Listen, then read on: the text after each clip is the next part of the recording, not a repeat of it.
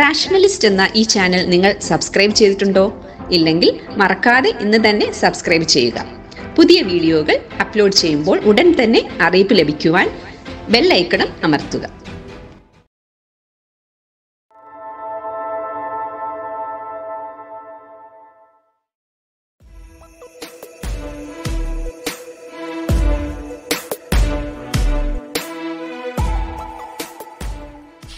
സ്വന്തം വീക്ഷണങ്ങളും അഭിപ്രായങ്ങളും നിലപാടുകളും അവരുടെ കൃതികളിലൂടെ അല്ലെങ്കിൽ സിനിമയിലൂടെ ആവിഷ്കരിക്കുന്നത് ആർക്കെങ്കിലും അസൗകര്യമാകുമെങ്കിൽ അല്ലെങ്കിൽ ആരുടെയെങ്കിലും വികാരങ്ങൾ അത് വ്രണപ്പെടുത്തുന്നുവെങ്കിൽ അത് നിരോധിക്കേണ്ടതുണ്ടോ എന്നുള്ളൊരു ചോദ്യമാണ്. അങ്ങനെ ഒരാൾക്ക് ഭാവനയാവോ? അത് അശാസ്ത്രീയമല്ലേ എന്ന് വേണമെങ്കിൽ ചോദിച്ചുകൊണ്ട് ഒരു ശാസ്ത്രീയവാദിക്ക് വാളെടുക്കാം. അങ്ങനെ വാളെടുത്താൽ ഞാൻ പറയും അത് ഒരുതരം അർത്ഥമില്ലാത്ത ജൽപ്പനം മാത്രമേ ആയിത്തീരുകയുള്ളത് ഈ സിനിമയിൽ പറയുന്ന കഥ കേരള സ്റ്റോറി ആണെങ്കിൽ അത് ഒരു യഥാർത്ഥ ചിത്രമല്ല. കേരളത്തിലെ സ്ഥിതി അതല്ല. അതിനകത്ത് വസ്തുതകളാണ് നമ്മൾ പരിശോധിക്കുന്നതെങ്കിൽ അത് അസത്യമാണ്. എന്നാൽ ഒരു കലാകാരന് അങ്ങനെ ഒരു അപകടം ചൂണ്ടിക്കാണിക്കുന്നതിന് വേണ്ടി അതിഭാവികത്വത്തോടെ അത് പറയാൻ പറ്റുമോ എന്ന് ചോദിച്ചാൽ തീർച്ചയായും പറയാൻ പറ്റണം.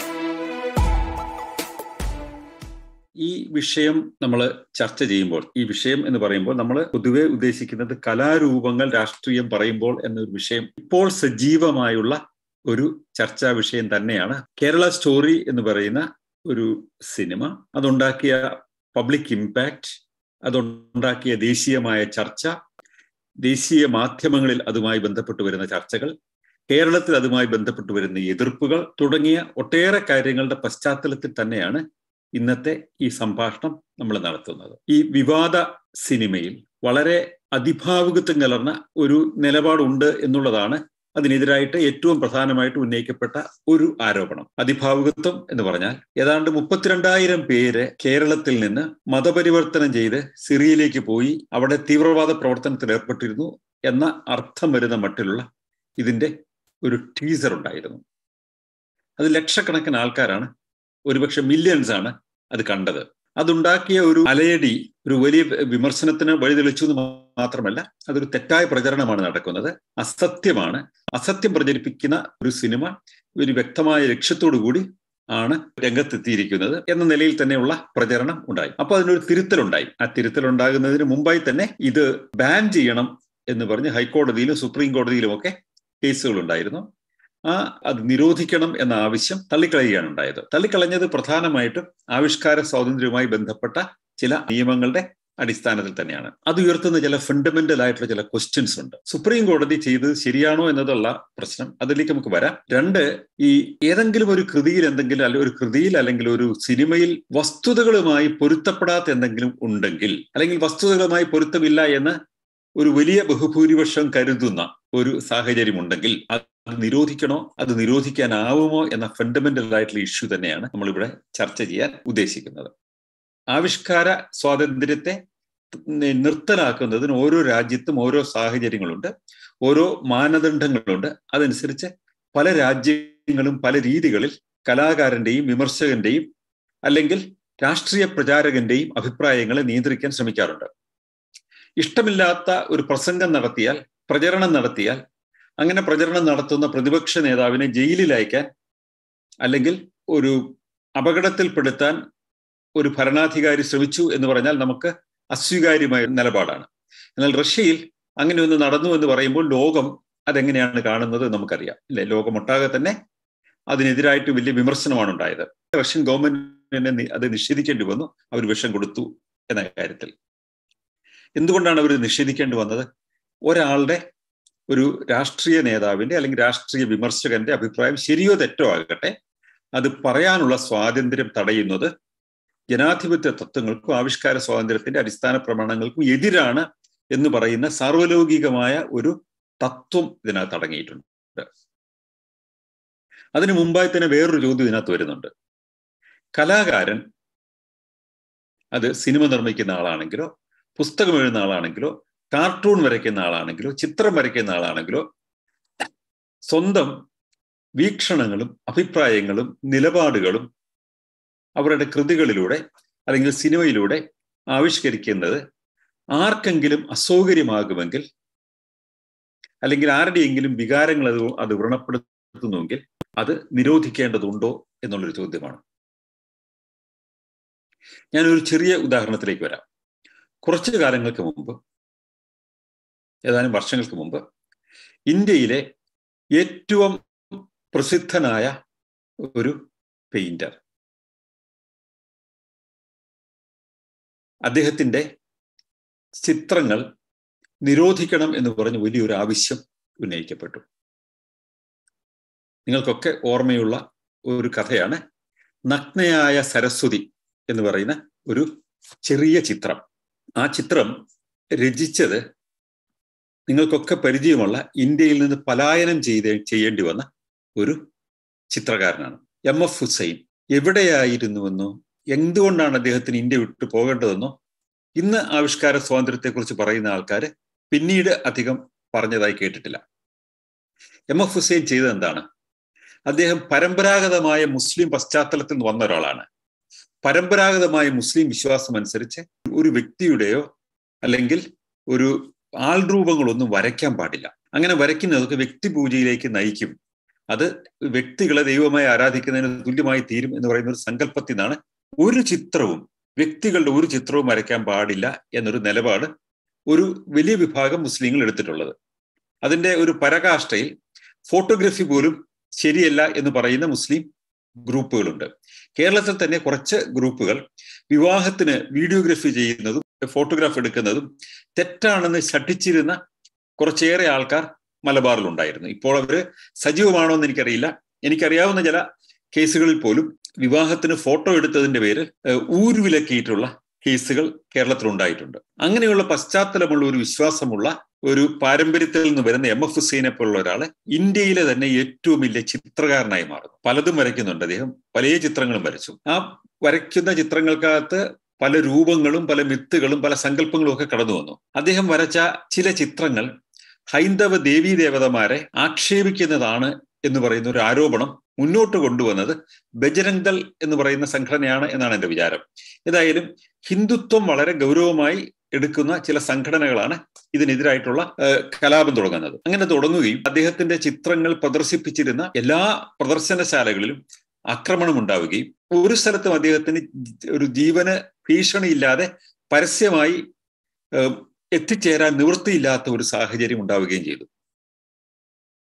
അന്ന് അതിനെ അതിശക്തമായി എതിർത്തു ഇന്ത്യയിലെ പുരോഗമനപക്ഷം എന്ന് പൊതുവെ വിശേഷിപ്പിക്കുന്ന എല്ലാവരും യുക്തിവാദികൾ അതിനെ എതിർത്തു.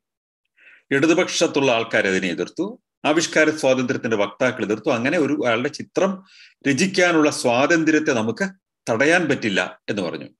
അന്ന് ഹിന്ദുത്വത്തിന്റെ പേരിൽ ഈ ഈ ചിത്രകാരനെതിരെ നടക്കുന്ന ഈ ഈ ആക്രമണം തെറ്റാണ് എന്ന ദേശീയ വികാരം ഒന്നുണ്ടായി. പക്ഷെ അദ്ദേഹത്തിന് പിടിച്ചു നിൽക്കാൻ പറ്റിയില്ല ഇന്ത്യയിൽ അദ്ദേഹത്തിന്റെ ജീവന് തന്നെ ഭീഷണി ഉണ്ടാവും എന്ന് തോന്നി.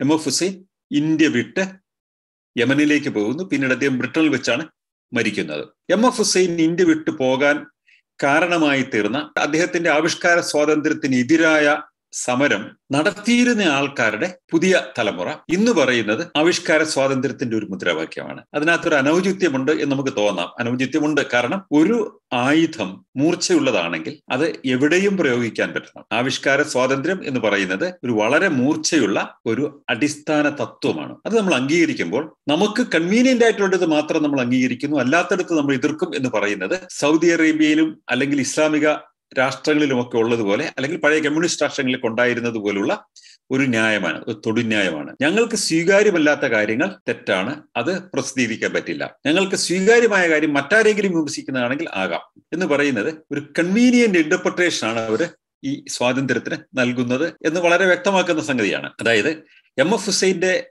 പെയിന്റിങ്സിനെതിരായിട്ട് സമരം ചെയ്ത ആൾക്കാർ ഇന്ന് കേരള സ്റ്റോറിയെ ഡിഫെൻഡ് ചെയ്തുകൊണ്ട് സമരരംഗത്ത് വരുമ്പോൾ അതിനകത്ത് ഒരു ഡബിൾ സ്റ്റാൻഡേർഡ് നമുക്ക് കാണാൻ പറ്റുന്നുണ്ട്. അതുകൊണ്ട് തന്നെ ഈ പറയുന്ന ഡിഫൻസ് ആവിഷ്കാര സ്വാതന്ത്ര്യം എന്ന വാദമുഖം അവർ ഉപയോഗിക്കുമെങ്കിൽ ഞാൻ തീർച്ചയായിട്ടും പറയും ആ വാദമുഖം നിങ്ങൾക്ക് ഉപയോഗിക്കാം. പക്ഷേ നിങ്ങളുടെ ചില പ്രവൃത്തികളിലും ആവിഷ്കാര സ്വാതന്ത്ര്യത്തെ മതിക്കുന്ന നിലപാടുകൾ കാണേണ്ടതുണ്ട്. അത് നമ്മൾ ആരും കാണുന്നില്ല എന്നുള്ളതാണ് പറയാനുള്ളത്. കൺവീനിയൻസ് ക്രിറ്റിസിസം കൺവീനിയൻസ് പോളിസീസ് എന്ന് പറയുന്നത് ഒരു പൊളിറ്റിക്കൽ എക്സ്പീരിയൻസി എന്ന് പറയുന്ന ഒരു നിലപാടിന്റെ ഭാഗമാണ്. അതായത് നമുക്ക് കൺവീനിയന്റ് ആയിട്ടുള്ള കാര്യങ്ങൾ മാത്രം നമ്മൾ കാണുക. അതിനെ മാത്രം നമ്മൾ വിമർശിക്കുക. നമുക്ക് കൺവീനിയന്റ് അല്ലാത്ത കാര്യങ്ങൾ നമ്മൾ അതിനെ വിമർശിക്കുന്നത് നമുക്ക് സ്വീകാര്യം അല്ലെങ്കിൽ നമ്മളോട് പക്ഷത്ത് നമ്മുടെ പക്ഷത്തുള്ള ആൾക്കാരുടെ നിലപാടാണതെങ്കിൽ അത് ഈ പറയുന്ന തത്വം അവിടെ പ്രയോഗിക്കാതിരിക്കുക എന്ന് പറയുന്നത് കാണാൻ പറ്റും. ഇപ്പൊ ആവിഷ്കാര സ്വാതന്ത്ര്യത്തിന്റെ മറ്റൊരു പ്രകടമായ ഒരു പോയിന്റ് എന്താണ്? സാത്താനിക് വേഴ്സസ് സൽമാൻ റഷ്ദിയുടെ പുസ്തകം. ആ പുസ്തകം അതിന്റെ ആദ്യത്തെ പ്രതി ഇന്ത്യയിൽ എത്തുന്നതിന് മുമ്പ് ആദ്യമായി ആരെങ്കിലും അത് കാണുന്നതിന് മുമ്പ് അതിന്റെ ഒരു റിവ്യൂ വായിച്ച് മുംബൈയിൽ കുറെ ആൾക്കാർ ബഹളം വെക്കുകയും ആ പുസ്തകം ലോകപ്രശസ്തമായ പുസ്തകം പാകിസ്ഥാനും സൗദി അറേബ്യക്കും ഇറാനും ഒക്കെ മുമ്പായിട്ട് ഇന്ത്യയാണ് നിരോധിച്ചത്. എന്തിനാണ് നിരോധിച്ചത്? നമുക്ക് ഫ്രീഡം ഓഫ് എക്സ്പ്രഷൻ നമ്മുടെ ഭരണഘടനയിൽ ഗ്യാരണ്ടി ചെയ്യപ്പെട്ട ഒരു സംഗതിയാണെങ്കിലും ആ പുസ്തകം ഇവിടെ വന്നു കഴിഞ്ഞാൽ അത് വർഗീയ കലാപം ഉണ്ടാക്കും എന്ന ഒരു തൊടുന്യായം പറഞ്ഞ് വളരെ പ്രസിദ്ധമായ പുസ്തകം ലോകപ്രശസ്തമായ പുസ്തകം നമുക്ക് ഇന്ത്യയിൽ ലഭ്യമല്ലാതായി. അതേ തുടർന്നിട്ടാണ് മറ്റു പല രാജ്യങ്ങളും പാകിസ്ഥാൻ ഉൾപ്പെടെയുള്ള രാജ്യങ്ങൾ അത് പിന്നീട് നിരോധിക്കുന്നത്. അന്ന് ആവിഷ്കാര സ്വാതന്ത്ര്യത്തിനെതിരായി ആരൊക്കെയാണ് സംസാരിച്ചത്? അല്ലെങ്കിൽ ആവിഷ്കാര സ്വാതന്ത്ര്യത്തിന് വേണ്ടി ആരൊക്കെയാണ് സംസാരിച്ചത്? ഇന്ന് ആവിഷ്കാര സ്വാതന്ത്ര്യത്തിന് വേണ്ടി പറയുന്ന പല ആൾക്കാരും സൽമാൻ റഷ്ദിയുടെ കാര്യം വന്നപ്പോൾ ആവിഷ്കാര സ്വാതന്ത്ര്യത്തിന് വേണ്ടി സംസാരിച്ചില്ല. അങ്ങനെയൊക്കെ റഷ്ദിക്ക് പറയാമോ? അങ്ങനെയൊക്കെയുള്ള വിമർശനം ഉന്നയിക്കാമോ എന്ന സന്ദേഹത്തിലായിരുന്നവർ കാരണം സൽമാൻ റഷ്ദിയുടെ പുസ്തകത്തെ ന്യായീകരിച്ചുകൊണ്ടോ അതിന്റെ അവതരണത്തിനുള്ള ആ സ്വാതന്ത്ര്യത്തെ ഡിഫെൻഡ് ചെയ്തുകൊണ്ടോ ആരെങ്കിലും സംസാരിച്ചാൽ നമ്മൾ പ്ലീസ് ചെയ്യാൻ ഉദ്ദേശിക്കുന്ന ചില ആൾക്കാർക്ക് അത് അസ്വീകാര്യമായി തോന്നിയെന്ന് വരാം. അതൊരു വോട്ട് ബാങ്ക് ആണ്. അതുകൊണ്ട് തന്നെ സൽമാൻ റഷ്ദിയുടെ പുസ്തകത്തിന്റെ നിരോധനത്തിനെതിരായിട്ട് സംസാരിക്കാൻ ഇപ്പോൾ ഉദാഹരണത്തിന് ഈ സിനിമ നിരോധിക്കണം എന്ന് പറയുന്ന ആൾക്കാർ ആരും തന്നെ ഉണ്ടായിരുന്നില്ല. അതൊരു കൺവീനിയന്റ് ആയിട്ട് പ്രശ്നമാണ്. നമുക്ക് നമ്മുടെ പൊളിറ്റിക്കൽ ക്യാമ്പയിന് ഫേവറബിൾ ആണെങ്കിൽ അതിന് നമ്മൾ മിണ്ടാണ്ടിരിക്കും. അതിന് ഫേവറബിൾ അല്ലെങ്കിൽ നമ്മൾ അതിനെ നിരോധിക്കണം എന്ന് പറയും. ഇതൊരു പൊളിറ്റിക്കൽ റാലിയിങ് പോയിന്റ് എന്നതിനപ്പുറത്ത് ഒരു തത്വദീക്ഷയുമില്ലാതെ ഇതിന്റെ അടിസ്ഥാന തത്വങ്ങൾ മനസ്സിലാക്കാതെ അല്ലെങ്കിൽ മനസ്സിലായിട്ടും മനസ്സിലായില്ല എന്ന് നടിച്ചുകൊണ്ട് നടത്തുന്ന ഒരു തരം പ്രചരണ കോലാഹലങ്ങളാണ് പല ആൾക്കാർ നടത്തുന്നത്. ഞാൻ ഇക്കാര്യത്തിൽ പറയട്ടെ. ഒരു കുറച്ചു കാലം മുമ്പ് ഡൽഹിയിൽ ഒരു കേസ് ഉണ്ടായി. ആ കേസ് കൊടുത്തത് വളരെ പ്രസിദ്ധനായ ഒരു ഒരു ഹിന്ദു റാഡിക്കലാണ് അദ്ദേഹം ചെയ്തത് ഖുറാൻ നിരോധിക്കണം എന്ന് പറഞ്ഞിട്ട് ഒരു കേസ് കൊടുത്തു. കൽക്കട്ടയിലാണ് കൊണ്ടുപോയി കേസ് കൊടുക്കുന്നത്. ആ കൽക്കട്ടയിൽ കൊണ്ടുപോയി കേസ് കൊടുക്കുമ്പോൾ കൽക്കട്ടയിലാണോ ഡൽഹിയിലാണോ കൊടുത്തതെന്ന് എനിക്ക് ഓർമ്മയില്ല. അതേ തുടർന്ന് പ്രശ്നമുണ്ടാകുന്നത് കൽക്കട്ടയിലാണ്. ഇങ്ങനെ ഒരു കേസ് ഫയലിൽ സ്വീകരിച്ചപ്പോൾ തന്നെ എന്തിനാണ് കേസ് വാദമുഖം എന്താണ്? ഖുറാനകത്ത് വളരെ ഡയറക്റ്റ് ആയിട്ട് വയലൻസ് അഡ്വക്കേറ്റ് ചെയ്യുന്ന കുറെ ഭാഗങ്ങളുണ്ട്. അതുകൊണ്ട് ഈ ഡയറക്ട്ലി വയലൻസ് അഡ്വക്കേറ്റ് ചെയ്യുന്ന ഭാഗങ്ങളിലുള്ള ഖുറാൻ നിരോധിക്കണം എന്നുള്ളതാണ്. ആ ആ ഖുറാനിൽ നിന്നുള്ള ഉദ്ധരണികൾ കൃത്യമായി കോട്ട് ചെയ്തുകൊണ്ട് ഒരു ഒരു കേസ് ഫയൽ ചെയ്യുന്നത്. അങ്ങനെ കേസ് ഫയൽ ചെയ്തപ്പോൾ കൽക്കട്ടയിൽ ഒരു അതേ തുടർന്നിട്ട് ഒരു വലിയ ബഹളം ഉണ്ടായി. ആ ബഹളത്തിൽ ഒരു ഒരാളോ മറ്റോ മരിക്കുകയോ മറ്റോ ചെയ്തു. ഏതായാലും ഈ പുസ്ത ഈ ഖുറാൻ നിരോധിക്കണം എന്ന് ഒരാൾക്ക് പറയാമോ? അങ്ങനെ ഒരു വാദമുഖം ഒരാൾക്ക് കൊണ്ടുവരാമോ? ആ വാദമുഖത്തിന് ന്യായമായി പറഞ്ഞത് വയലൻസ് അഡ്വക്കേറ്റ് ചെയ്യുന്ന ഏത് സംഗതിയും നിരോധിക്കണം. ആ പുസ്തകത്തിന്റെ കണ്ടന്റിനകത്ത് മറ്റു കാര്യങ്ങളൊന്നും പറയുന്നില്ല. അതിനകത്ത് വയലൻസ് അഡ്വക്കേറ്റ് ചെയ്യുന്ന ഭാഗങ്ങളുണ്ട്. അല്ലെങ്കിൽ ആ ഭാഗങ്ങൾ നീക്കം ചെയ്തിട്ട് വേണം വിതരണം ചെയ്യാൻ. ഇതായിരുന്നു വാദമുഖം. ഇത് കോടതിയിൽ അവതരിപ്പിച്ചുകൊണ്ട് മാത്രം തന്നെ അപ്പോൾ തന്നെ വലിയ വയലൻസ് ഉണ്ടാകുന്നു. അതിനെതിരായിട്ട് പാകിസ്ഥാനിൽ വലിയ ഡെമോൺസ്ട്രേഷൻസ് ഉണ്ടാകുന്നു. അതേ തുറന്നിട്ട് ഈ കേസ് എനിവേ തള്ളിക്കളഞ്ഞു. അത് സ്വീകരിച്ചില്ല. അപ്പോൾ ആ കാര്യത്തിൽ റാഷണലിസ്റ്റുകൾ അക്കാര്യത്തിൽ എടുത്തൊരു നിലപാടുണ്ട്. നോക്കൂ ഖുറാൻ ഒരു വിമർശന പഠനം എന്ന മലയാളത്തിലെ ആദ്യത്തെ ഇസ്ലാം മത വിമർശന പുസ്തകം പ്രസിദ്ധീകരിച്ച് കഴിഞ്ഞതിന് ശേഷമുള്ള ഒരു സമയമാണ്. അന്നത്തെ യുക്തിവാദികളിൽ പോലും ഒരു വിഭാഗം അങ്ങനെയൊക്കെ നമ്മൾ പറയാമോ? അത്രയും വലിയ വിമർശനം ഉന്നയിക്കാമോ എന്ന് സന്ദേഹിച്ചിരുന്ന ഒരു കാര്യമുണ്ട്. ഉദാഹരണത്തിന് അക്കാലത്ത് കേരളത്തിലെ യുക്തിവാദി സംഘത്തിന്റെ ഒരു പ്രമുഖ നേതാവായിരുന്ന യു കലാനാഥൻ. അദ്ദേഹം പല കാര്യങ്ങളിലും വളരെ നല്ല പ്രവർത്തനങ്ങൾ കാഴ്ചവെച്ചിട്ടുള്ള ഒരാളാണ്. പക്ഷെ അദ്ദേഹത്തിന് പോലും അന്ന് തോന്നിയത് ഖുറാനെ നമ്മൾ അങ്ങനെ വിമർശിക്കാമോ എന്നാ തോന്നിയത്. അതിനൊരു പരിഹാരം എന്ന മട്ടിൽ അദ്ദേഹം ഒരു മദ്രസ പോയി ഉദ്ഘാടനം ചെയ്യുകയും ചെയ്തു. അതൊരു കാലഘട്ടമാണ്. പക്ഷെ ഖുറാൻ വിമർശന പഠനം എന്ന് പറയുന്ന പുസ്തകം നിരോധിക്കണം എന്ന് പറയുന്ന ആവശ്യം വളരെ ഗൗരവമായിട്ട് അന്ന് വന്നപ്പോൾ അത് നിരോധിക്കരുത് നിരോധിക്കേണ്ടതില്ല എന്ന് പറഞ്ഞ കുറെ ആൾക്കാരുണ്ട്. അതിനകത്ത് ചില മുസ്ലിം സമുദായത്തിലെ ചില നേതാക്കന്മാർ പോലും ഉണ്ട് അപ്പൊ അന്ന് ആ പുസ്തകം രചിച്ച ഇടമറുക് പറഞ്ഞത് നിങ്ങൾ എന്തിനാണ് നിരോധിക്കുന്നത്? നിങ്ങൾക്ക് അതിനെ അഡ്രസ് ചെയ്യാൻ പറ്റാഞ്ഞിട്ടാണ്. നിങ്ങൾക്ക് പറ്റുമെങ്കിൽ അതിന് മറുപടി എഴുതൂ എന്നാണ് പറഞ്ഞത്.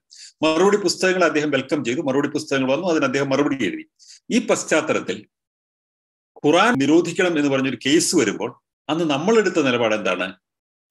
ഖുറാൻ നിരോധിക്കുന്നതാൽ ശരിയായ നിലപാടല്ല.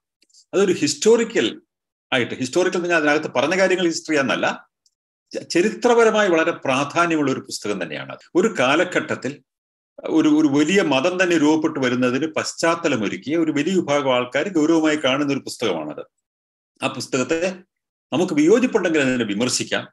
അതിൽ അസ്വീകാര്യമായ കാര്യങ്ങളുണ്ടെങ്കിൽ അത് ചൂണ്ടിക്കാണിക്കാം. അപ്പൊ നിങ്ങൾ ബേജാറാകേണ്ട കാര്യമില്ല. പക്ഷേ ഇത് നിരോധിക്കണം നിരോധിക്കണമെന്ന് പറഞ്ഞ ആരെങ്കിലും വന്നു കഴിഞ്ഞാൽ ആവിഷ്കാര സ്വാതന്ത്ര്യത്തിന്റെ വക്താക്കളായ നമ്മൾ ആ നിരോധനം അരുത് എന്ന് പറയുന്ന ആൾക്കാരാണ്.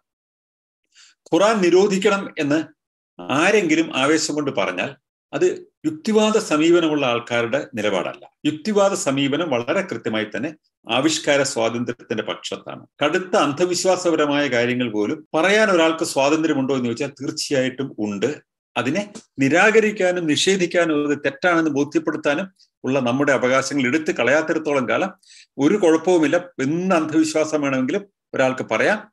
അത് അപകടകരമല്ലെങ്കിൽ അത് വയലൻസിന് ആഹ്വാനം ചെയ്യുന്നില്ലെങ്കിൽ അതാകാം. ആകാവുന്നിടത്തോളം കാര്യങ്ങളിൽ ഒരു സ്വാതന്ത്ര്യവും എടുത്തു കളയാതിരിക്കുകയാണ് വേണ്ടത് എന്ന് തന്നെയാണ് നമ്മളുടെ നിലപാട്.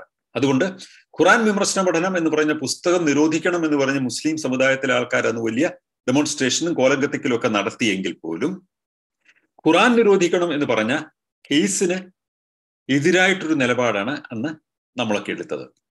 ഇതൊരു തത്വത്തിന്റെ അടിസ്ഥാനത്തിലാണ്. നമുക്കൊന്നിനോട് വിരോധമല്ല ഉള്ളത്. വിയോജിപ്പാണുള്ളത്. ഈ അനാവശ്യമായ ശത്രുത അല്ലെങ്കിൽ അതിനോട് പക തോന്നുക എന്നൊക്കെ പറയുന്നത് ഒരു വൈകാരിക സമീപനമാണ്. വിചിന്തനത്തിന്റെ സമീപം ചിന്തയുടെ സമീപനം അല്ലെങ്കിൽ യുക്തിയുടെ സമീപനം എന്ന് പറയുന്നത് ഇത്തരം കാര്യങ്ങളിൽ വിവേകപൂർണമായ സമീപനം ഉണ്ടാവുക എന്ന് തന്നെയാണ്. അത് ഖുറാൻ ആണെങ്കിലും ബൈബിൾ ആണെങ്കിലും ഭഗവത്ഗീതയാണെങ്കിലും വേദങ്ങളാണെങ്കിലും ഏത് പുസ്തകമാണെങ്കിലും അതിനെ വിമർശിക്കാൻ സാധ്യമാകണം. നമ്മളൊക്കെ പറയുന്ന കാര്യങ്ങളെ വിമർശിക്കാൻ മറ്റുള്ളവർക്ക് സാധ്യമാകണം. ഒരു ഹിന്ദുവിനെ മുസ്ലിമിനെ വിമർശിക്കണോ? അത് ഹിന്ദു മുസ്ലിമിനെ വിമർശിച്ചാൽ കുഴപ്പമാണെന്ന് പറയുന്ന കാര്യമുണ്ടോ? ഹിന്ദു അല്ല ഒരാൾ നാസ്തികൻ തന്നെ പറഞ്ഞാലേ കുഴപ്പമുള്ളൂ. ഹിന്ദു പറഞ്ഞാൽ കുഴപ്പമാണ്. അല്ലെങ്കിൽ ഇപ്പൊ അടുത്ത കാലത്തായിട്ട് കുറച്ച് ക്രിസ്ത്യൻ റാഡിക്കൽ ഗ്രൂപ്പുകളിൽപ്പെട്ട ആൾക്കാർ ഇസ്ലാമിനെ വിമർശിക്കുന്നുണ്ട്. അപ്പൊ ക്രിസ്ത്യാനികൾ അങ്ങനെ വിമർശിക്കുന്ന ചില ആൾക്കാർക്ക് തോന്നാറുണ്ട്. അങ്ങനെ തോന്നേണ്ട കാര്യമൊന്നുമില്ല. വിമർശിക്കാൻ എല്ലാവർക്കും സ്വാതന്ത്ര്യമുണ്ട്.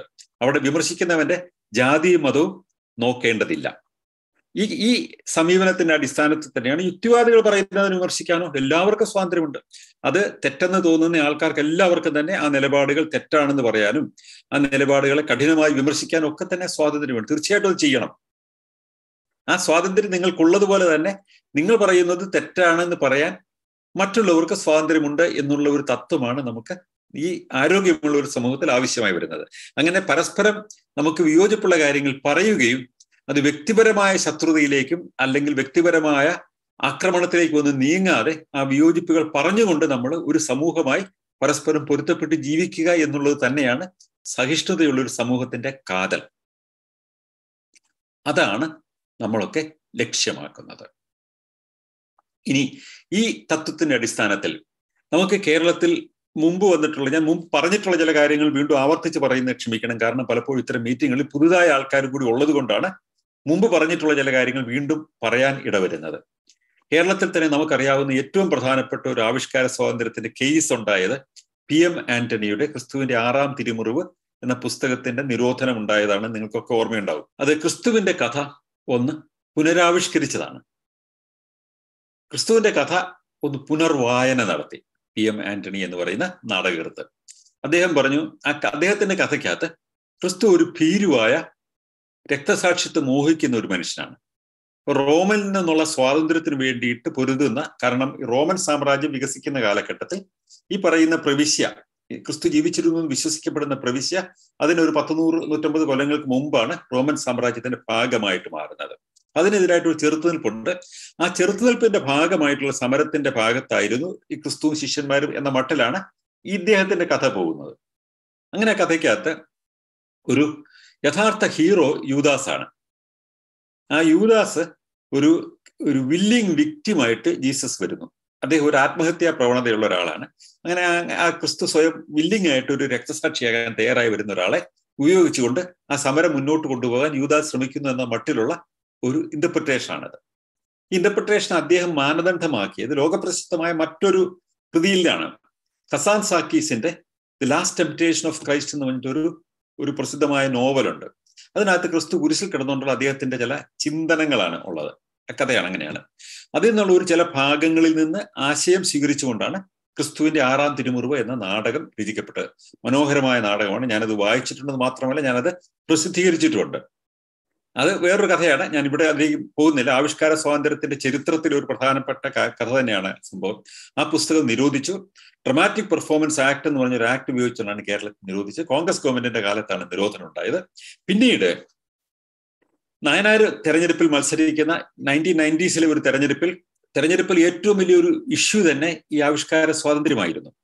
ആവിഷ്കാര സ്വാതന്ത്ര്യത്തിന് വേണ്ടി തന്നെ മത്സര അത് തന്നെ തെരഞ്ഞെടുപ്പിലെ മെയിൻ ഇഷ്യൂ ആയിട്ട് മത്സരിച്ച തെരഞ്ഞെടുപ്പിൽ ജനങ്ങൾ മുഴുവൻ അതിന് അനുകൂലമായിട്ടാണ് വോട്ട് ചെയ്തത്. ഈ പുസ്തകത്തിന്റെ നിരോധനം നീക്കുമെന്നാണ് എല്ലാവരും കരുതിയത്. ലോകത്തിന്റെ എല്ലാ ഭാഗത്തുമുള്ള യുക്തിവാദികളെയും സ്വതന്ത്ര ചിന്തകരെയും നാസ്തികരെയും പരസ്പരം ബന്ധിക്കുന്ന വിവരങ്ങൾ കൈമാറുന്ന പുതിയ വിവരങ്ങൾ നിരന്തരമായി നൽകുന്ന ഒരു മൊബൈൽ ആപ്ലിക്കേഷൻ ഇപ്പോൾ ലഭ്യമാണ്. റാഷണലിസ്റ്റ് ആപ്പ് ഈ ആപ്ലിക്കേഷൻ നിങ്ങളുടെ ഐഫോണിലും ആൻഡ്രോയിഡ് ഫോണിലും സൗജന്യമായി ഡൗൺലോഡ് ചെയ്യാം. ഡൗൺലോഡ് ചെയ്യാനുള്ള ലിങ്ക് ചുവട്ടിൽ ഡിസ്ക്രിപ്ഷൻ ബോക്സിൽ കൊടുത്തിട്ടുണ്ട്. എന്നാൽ അവർ അധികാരത്തിൽ വന്നു കഴിഞ്ഞപ്പോൾ മെത്രാന്റെ അരമനയിൽ പോയി ചായയൊക്കെ കുടിച്ച് നാടകം നിരോധിക്കില്ല എന്ന് ഉറപ്പും പറഞ്ഞിട്ട് അദ്ദേഹം തിരിച്ചു വന്നു. മാത്രമല്ല ഈ പറയുന്ന ഇഷ്യൂ റേസ് ചെയ്തതിന് പരിഹാരം എന്ന മട്ടിൽ അന്നത്തെ മുഖ്യമന്ത്രി നായനാരെ റോമിൽ പോയിട്ട് മാർപ്പാപ്പയെ കണ്ട് അദ്ദേഹത്തിന് ഒരു ഭഗവത്ഗീതം കൊടുത്തേച്ച് തിരിച്ചു വന്നു. എന്തിനാണ്? ഇതൊക്കെ ഒരു പൊളിറ്റിക്കൽ മാനോവറിംഗ് ആണ് ഒരു മാനിപ്പുലേഷൻ ആണ്. ആവിഷ്കാര സ്വാതന്ത്ര്യം ഇവർക്കൊന്നും ഒരു ഇഷ്യൂ ആയിരുന്നില്ല. ആവിഷ്കാര സ്വാതന്ത്ര്യം അന്ന് കൺവീനിയന്റ് ആയിരുന്നു. കാരണം അതിന് അനുകൂലം ആവിഷ്കാര സ്വാതന്ത്ര്യത്തിന്റെ നിഷേധത്തിന് എതിരായിട്ട് ജനങ്ങൾ ഉയരുന്നൊരു കാലമാണ്. അതിനെ സ്വാംശീകരിക്കുക പൊളിറ്റിക്കലി അത് യൂസ് ചെയ്യുക എന്നതിനപ്പുറത്തുള്ള യാതൊരു ആത്മാർത്ഥതയും അക്കാര്യത്തിൽ ഉണ്ടായിരുന്നില്ല. പുസ്തക നിരോധനം തുടർന്നു. അത് സുപ്രീം കോടതി വരെ അന്നത്തെ ഗവൺമെന്റിന്റെ പക്ഷത്ത് നിന്ന് ആ നിരോധനത്തിന് അനുകൂലമായ നിലപാട് തന്നെ എടുത്തു. അവസാനം സുപ്രീം കോടതിയും അത് ശരിവെച്ച് കഴിഞ്ഞ സമയത്ത് പുസ്തകത്തിന്റെ പുസ്തകമല്ല ഈ നാടകത്തിന്റെ അവതരണം മാത്രമാണ് നിരോധിച്ചിരുന്നത് എന്നതുകൊണ്ട് ആ നാടകം അതിന്റെ പുസ്തക രൂപത്തിൽ അതിന്റെ സ്ക്രിപ്റ്റ് പ്രസിദ്ധീകരിക്കാൻ എനിക്ക് ആന്റണി അനുമതി നൽകുന്നു. അതേ തുടർന്നിട്ട് അത് അന്ന് പുസ്തക രൂപത്തിൽ പ്രസിദ്ധീകരിക്കുകയുണ്ടായി ഇന്നത് ലഭ്യമല്ല. ഇപ്പോൾ ഏതാനും ദിവസങ്ങൾക്കകം ആ പുസ്തകം വീണ്ടും ഒരു ഇ ബുക്കായിട്ട് വരുന്നുണ്ട്. അതേക്കുറിച്ചുള്ള അറിയിപ്പുകൾ ഉടൻ തന്നെ വരും. ക്രിസ്തുവിന്റെ ആറാം തിരുമുറവ് എന്ന് പറഞ്ഞാൽ നിരോധിക്കപ്പെട്ട ആ പുസ്തകം ആ നാടകം നിങ്ങൾക്കൊക്കെ വായിക്കാൻ ലഭ്യമാകും ഏതാനും ദിവസങ്ങൾക്കകം ഇ ബുക്കായിട്ട് തന്നെ. ഞാനിത് പറഞ്ഞു വരുന്നത് ആവിഷ്കാര സ്വാതന്ത്ര്യത്തിന്റെ നിഷേധത്തിനെതിരായിട്ട് നടത്തുന്ന സമരങ്ങളൊന്നും തന്നെ പലപ്പോഴും ആത്മാർത്ഥതയോടെയോ അതിന്റെ അടിസ്ഥാന തത്വങ്ങളെ മാനിച്ചുകൊണ്ടോ അല്ല എന്ന് ചൂണ്ടിക്കാണിക്കുന്നതിന് വേണ്ടിയിട്ടാണ്. നോക്കൂ നമുക്ക് എത്ര എത്ര കേസുകൾ കാണാൻ പറ്റും. ഇവിടെയൊക്കെ തന്നെ നമുക്ക് വേണ്ട കാര്യങ്ങൾ നമ്മൾ സ്വീകരിക്കും. നമുക്ക് വേണ്ടാത്ത കാര്യങ്ങൾ ഈ തത്വങ്ങളൊക്കെ നമ്മൾ മറന്നു കളയും എന്ന് പറയുന്ന ഒരു സമീപനമാണ് പൊതുവെ കണ്ടുവരുന്നത്. ഇവിടെ മറ്റൊരു പ്രധാനപ്പെട്ട ഇഷ്യൂ കൂടെ വരുന്നുണ്ട്. അവിടെയാണ് ഈ കലാരൂപങ്ങൾക്ക് രാഷ്ട്രീയം പറയാമോ എന്ന് പറയുന്നൊരു ചോദ്യമുണ്ട്. നമുക്ക് പണ്ട് കാലം മുതലേ സാഹിത്യത്തിനകത്ത് കുറേ കാലങ്ങൾക്കായി സോഷ്യലിസ്റ്റ് റിയലിസം എന്നൊക്കെ പറയുന്ന ഒരു സംഭവം ഉണ്ടായി വരുന്ന ഒരു കാലം മുതലൊക്കെ തന്നെ ഈ കമ്മ്യൂണിസ്റ്റ് പാർട്ടികളും ഇടതുപക്ഷ പ്രസ്ഥാനങ്ങളും ഒക്കെ നിരന്തരമായി പറയുന്ന ഒരു സംഗതിയുണ്ട്. കല ഒരു ലക്ഷ്യപ്രാപ്തിക്ക് വേണ്ടിയുള്ള ഒരു ആയുധമാണ്. അതുകൊണ്ട് കലാകാരൻ അവന്റെ രചനാ വൈഭവം ആശയപ്രചരണത്തിന് വേണ്ടി ഉപയോഗിക്കണം. ആ പറയുമ്പോൾ ഒരു ഒരു സംഗതി അവരുടെ മനസ്സിലുള്ളത്. കലയുടെ മേഖലയിലുള്ള പല ആൾക്കാർ ഇടതുപക്ഷത്താണ് എന്നും അവരെല്ലാം എഴുതുന്നത് ഇടതുപക്ഷ സാഹിത്യമായിരിക്കുമെന്നും അല്ലെങ്കിൽ അവർ പ്രൊഡ്യൂസ് ചെയ്യുന്നതൊക്കെ ഇടതുപക്ഷമായിരിക്കുന്നു അതുകൊണ്ട് കലാകാരന്മാരെല്ലാം ഇടതുപക്ഷത്തേക്ക് വരികയും സാഹിത്യം രചിക്കുകയും ചെയ്യണം എന്ന മോഹത്തോടെയാണ് ഇത് പറയുന്നത്. പക്ഷെ തത്വം എന്താണ്? കലാകാരൻ രാഷ്ട്രീയം പറയണം. കലാകാരൻ രാഷ്ട്രീയം എഴുതണം. കലാകാരൻ രാഷ്ട്രീയം അവതരിപ്പിക്കണം. അതിന് കലയെ ഉപയോഗിക്കണം എന്നാണ് പറയുന്നത്. എനിക്ക് ഇക്കാര്യത്തിലുള്ള അഭിപ്രായം ഞാൻ പലതവണ പറഞ്ഞിട്ടുണ്ട്. കലാകാരൻ രാഷ്ട്രീയം പറയണമെങ്കിൽ പറയാം. പറയണ്ടെങ്കിൽ പറയേണ്ടതില്ല. ആ കാര്യത്തിൽ കലാകാരന് സമ്പൂർണമായ സ്വാതന്ത്ര്യമുണ്ട്. ഏത് രാഷ്ട്രീയം പറയാനും ഏത് രാഷ്ട്രീയം പ്രചരിപ്പിക്കാനും ഏത് രാഷ്ട്രീയത്തിന്റെ നിലപാടുകൾ രംഗത്ത് കൊണ്ടുവരാനും എല്ലാ കലാകാരന്മാർക്കും അർഹതയുണ്ട്. അത് ഇടതുപക്ഷത്തിന്റെതാണെങ്കിലും വലതുപക്ഷത്തിന്റെതാണെങ്കിലും അത് കമ്മ്യൂണിസ്റ്റ് പാർട്ടിയുടേതാണെങ്കിലും കോൺഗ്രസിന്റെതാണെങ്കിലും ബി ജെ പിയുടേതാണെങ്കിലും ഒക്കെ തന്നെ എല്ലാവർക്കും അവകാശമുണ്ട്. അത് ഒരു പക്ഷത്തിന്റെ ആശയങ്ങൾ പ്രചരിപ്പിക്കുന്നതിന് വേണ്ടി മാത്രമാണ് കലാകാരൻ രാഷ്ട്രീയം പറയുന്നത് എന്ന് ഞങ്ങൾ പറഞ്ഞിട്ടുണ്ടെങ്കിൽ എന്നൊരാൾ പറയുകയാണെങ്കിൽ അതിനകത്തൊരു കുഴപ്പമുണ്ട്. അല്ലേ? ഞാൻ വേറൊരു ഉദാഹരണം കേരളത്തിലെ തന്നെ രാഷ്ട്രീയത്തിലെ ഒരു മറ്റൊരു ഉദാഹരണം പറയും. ഓർമ്മയുള്ള ഒരു ഉദാഹരണമാണ്. നമ്മളൊക്കെ പൊതുവെ പറയും മതത്തിന്റെ മേലങ്കി അണിഞ്ഞുകൊണ്ട് മതപുരോഹിതന്മാർ രാഷ്ട്രീയം പറയ പറയരുത്. അങ്ങനെ പറയുന്നത് സെക്കുലറിസത്തിന്റെ അടിസ്ഥാന പ്രമാണങ്ങൾക്കെതിരാണ്. കാരണം അത് മതവിശ്വാസത്തിന്റെ ആ മേലങ്കി അണിയുന്ന ആൾ പറയുന്ന സംഗതികൾ ഒരു മതപരമായ ആഹ്വാനമായിട്ട് കരുതുന്ന ആൾക്കാരുടെ മേൽ വിശ്വാസം ഉപയോഗിച്ചുകൊണ്ട് നടത്തുന്ന രാഷ്ട്രീയ വഴിമാറ്റിവിടലാണ്. അത് ചെയ്യാൻ പാടില്ല. രാഷ്ട്രീയ മത മേധാവിക്ക് രാഷ്ട്രീയം പറയാം മതമേധാവി എന്നുള്ള നിലയിലല്ല പറയേണ്ടത്. വ്യക്തി എന്നുള്ള നിലയിലാണ് പറയേണ്ടത്. അതൊരു വലിയ വ്യത്യാസമുള്ള സംഗതിയാണ്. എല്ലാവരും അംഗീകരിക്കുന്ന തത്വമാണ് അതല്ലേ നമ്മുടെ ഒരു ഒരു മൗലികമായ തത്വം തന്നെയാണ്. കാരണം ഇന്ത്യയിലെ തെരഞ്ഞെടുപ്പിലാണെങ്കിൽ മതത്തെ തെരഞ്ഞെടുപ്പ് പ്രചരണത്തിന് ഉപയോഗിച്ചു എന്ന് തെളിയിക്കപ്പെട്ടാൽ ആ തെരഞ്ഞെടുപ്പ് പോലും റദ്ദായി പോകും. നമ്മുടെ പി സി തോമസിന്റെ ഒരു പാർലമെന്റ് അംഗത്വം തന്നെ നഷ്ടപ്പെട്ടത് അദ്ദേഹം ഈ മാർപ്പാപ്പയുടെ പടമൊക്കെ ഉപയോഗിച്ചുകൊണ്ട് പ്രചരണം നടത്തിയുകൊണ്ടാണ് അപ്പൊ അങ്ങനെയുള്ള ഒരു തെരഞ്ഞെടുപ്പ് നിയമം പോലെയുള്ള ഒരു രാജ്യത്ത് മതത്തിന്റെ പേരിൽ രാഷ്ട്രീയം പറയാമോ? അല്ലെങ്കിൽ പുരോഹിതൻ കുപ്പായം അണിഞ്ഞുകൊണ്ട് രാഷ്ട്രീയം പറയാമോ? പറ്റില്ല എന്നുള്ളതാണ് നമ്മൾക്കറിയാവുന്ന സെക്കുലറിസത്തിന്റെ സിദ്ധാന്തം. പക്ഷേ അത് ന്യായീകരിച്ചുകൊണ്ട് പുരോഹിതൻ മതം രാഷ്ട്രീയം പറയണം എന്ന് പറഞ്ഞ് ഒരു കാലത്ത് ഒരു വലിയ ക്യാമ്പയിൻ തന്നെ നടന്നിട്ടുണ്ട് കേരളത്തിൽ. അത് ആര് വന്നപ്പോഴാണെന്ന് ഓർക്കണം. അന്ന് പൗലോസ്മാർ പൗലോസ്മാർ പൗല പൗലോസ്മാർ പൗലോസ് ആണ് പൗലോസ്മാർ ഗ്രിഗോറിയസ് ആണെന്ന് ഓർമ്മയില്ല. പൗലോസ്മാർ ഗ്രിഗോറിയസ് എന്ന് പറയുന്ന ഒരു ഒരു മെത്രാൻ ഉണ്ടായിരുന്നു. തൃശ്ശൂരുള്ള ഒരു കൊച്ചു സഭയുടെ അധിപനാണ്. അദ്ദേഹം ഇടതുപക്ഷത്തായിരുന്നു. അദ്ദേഹം രാഷ്ട്രീയ കാര്യങ്ങളിൽ അഭിപ്രായം പറയും. വളരെ ശക്തമായി ഇടതുപക്ഷത്താണ് ഇങ്ങനെ പറയുന്ന അഭിപ്രായങ്ങൾ. അതിനെ ന്യായീകരിച്ചുകൊണ്ട് അങ്ങനെ പുരോഹിതൻ രാഷ്ട്രീയം പറയാമോ? അത് കേരള കോൺഗ്രസിന് വേണ്ടി കത്തോലിക്ക മെത്രന്മാർ പറഞ്ഞ തെറ്റാണ്. എന്നാൽ ഈ ഗ്രിഗോറിയസ് മെത്രാന് പറഞ്ഞാൽ അത് ഇടതുപക്ഷത്തിന് വേണ്ടി പറഞ്ഞാൽ അത് ശരിയാണ്. അല്ലെങ്കിൽ ഫാദർ വടക്കൻ ഇടതുപക്ഷത്തിന് വേണ്ടി പൗരോഹിത്യ വേഷത്തിൽ അണിഞ്ഞു അണിഞ്ഞുകൊണ്ട് മത രാഷ്ട്രീയം പറഞ്ഞാൽ അത് ശരിയാണ്. എന്നാൽ മറ്റൊരു മെത്രാൻ പറഞ്ഞാൽ തെറ്റാണ് എന്ന് പറയുന്ന ഒരു സമീപനം ഉണ്ടല്ലോ. അതിനാണ് നമ്മൾ ഡബിൾ സ്റ്റാൻഡേർഡ് എന്ന് പറയുന്നത്. അതായത് ഒരേ ന്യായം തന്നെ രണ്ടിടത്ത് രണ്ട് രീതിയിൽ കാണണം. എനിക്ക് അനുകൂലമാണെങ്കിൽ അത് ആകാം. എനിക്ക് എതിരാണെങ്കിൽ അതാകാൻ പാടില്ല എന്ന് പറയുന്ന ഒരു ഒരു നിലപാടാണത്. അതിന് പറയുന്ന നമ്മുടെ മലയാളത്തിൽ ഒരു ശുദ്ധമായ വാക്കുണ്ട്. അവസരവാദം എന്ന് പറയുന്ന ഒരു സംഗതിയാണത്. ഈ അവസരവാദമാണ് ഇത്തരം കാര്യങ്ങളിൽ എല്ലാ രാഷ്ട്രീയ പാർട്ടികളും പലപ്പോഴും പുലർത്തി കാണാറുള്ളത്. എന്റെ അഭിപ്രായത്തിൽ അത് കത്തോലിക്ക മെത്രാനാണെങ്കിലും അത് യാക്കോബായ മെത്രാനാണെങ്കിലും അല്ലെങ്കിൽ ഈ പറയുന്ന ഗ്രിഗോറിയോസ് എന്ന് പറയുന്ന മെത്രാനാണെങ്കിലും ഒക്കെ തന്നെ അവർക്കൊക്കെ രാഷ്ട്രീയമാകാം വ്യക്തികൾ എന്ന നിലയിലാകണം. മതമേലങ്കി അണിഞ്ഞുകൊണ്ട് വിശ്വാസികളെ അഡ്രസ് ചെയ്യുന്ന ഭാഷയിൽ അവർ രാഷ്ട്രീയം പറഞ്ഞാൽ അത് മതവിശ്വാസത്തെ രാഷ്ട്രീയത്തിലേക്ക് ഉപയോഗിക്കുന്നതിന് തുല്യമാണ്. സെക്കുലറിസത്തിന്റെ അടിസ്ഥാന പ്രമാണങ്ങൾക്കെതിരാണ്. അവരുടെ സ്വാതന്ത്ര്യം എടുത്തു കളയല്ല വേണ്ടത്? ഈ സ്വാതന്ത്ര്യം ഒരു അധ്യാപകൻ കുട്ടികളോട് ആഹ്വാനം നടത്തുന്നത് പോലെ തന്നെയാണ്. രാഷ്ട്രീയ ആഹ്വാനം നടത്തുന്ന പോലെ തന്നെയാണത്. കാരണം ഇവരെ വിശ്വാസത്തിന്റെ ഒരു ഒരു ധാരയിലാണ് ഇവരുടെ ഉപദേശങ്ങൾ കേൾക്കുന്നത്. അതുകൊണ്ടാണ് ആവരുത് എന്ന് നമ്മൾ പറയുന്നത്. ഇതുപോലെ തന്നെയാണ് ആവിഷ്കാര സ്വാതന്ത്ര്യത്തിന്റെയും പ്രശ്നം അടങ്ങിയിട്ടുള്ളത്. ആവിഷ്കാര സ്വാതന്ത്ര്യം എല്ലാവരും ഡിഫെൻഡ് ചെയ്യുന്ന ഒരു സംഗതിയാണ്. അവർക്ക് അത് കൺവീനിയന്റ് ആകുമ്പോൾ മാത്രം. ഞാൻ ഇനി മറ്റൊരു ഉദാഹരണം തന്നെ പറയാം. കുറച്ചു കാലം മുമ്പ് ഗോഡ്സെ കുറിച്ചൊരു നാടകം വന്നു. മീ നാഥുറാം ഗോഡ്സെ ബോൾത്തെ എന്നായിരുന്നു നാടകത്തിന്റെ പേര്. മറാത്തി ഭാഷയിലാണ്. അതിന് ആധാരമാക്കിയത് ഈ നാഥുറാം ഗോഡ്സെ കോടതിയിൽ വിചാരണ ചെയ്യപ്പെടുമ്പോൾ നടത്തിയ ഒരു വലിയ പരാമർശമുണ്ട്. എഴുതി തയ്യാറാക്കിയ ഒരു വലിയ ദീർഘമായ പരാമർശമാണ്. ഗാന്ധിയെ വധിച്ചതിന് ന്യായീകരണം നിരത്തി വെക്കുന്ന ഒരു പരാമർശമാണ്. അത് പിന്നീട് ഗോപാൽ ഗോഡ്സെ മറ്റൊരു പുസ്തകമാക്കി ഇറക്കിയിട്ടുണ്ട്. അപ്പൊ അതിനെ ആധാരമാക്കി ഈ നാഥുറാം ഗോഡ്സെയുടെ വശത്ത് നിന്ന് നാഥുറാം ഗോഡ്സെ ഞാൻ നാഥുറാം ഗോഡ്സെ പറയുന്നു.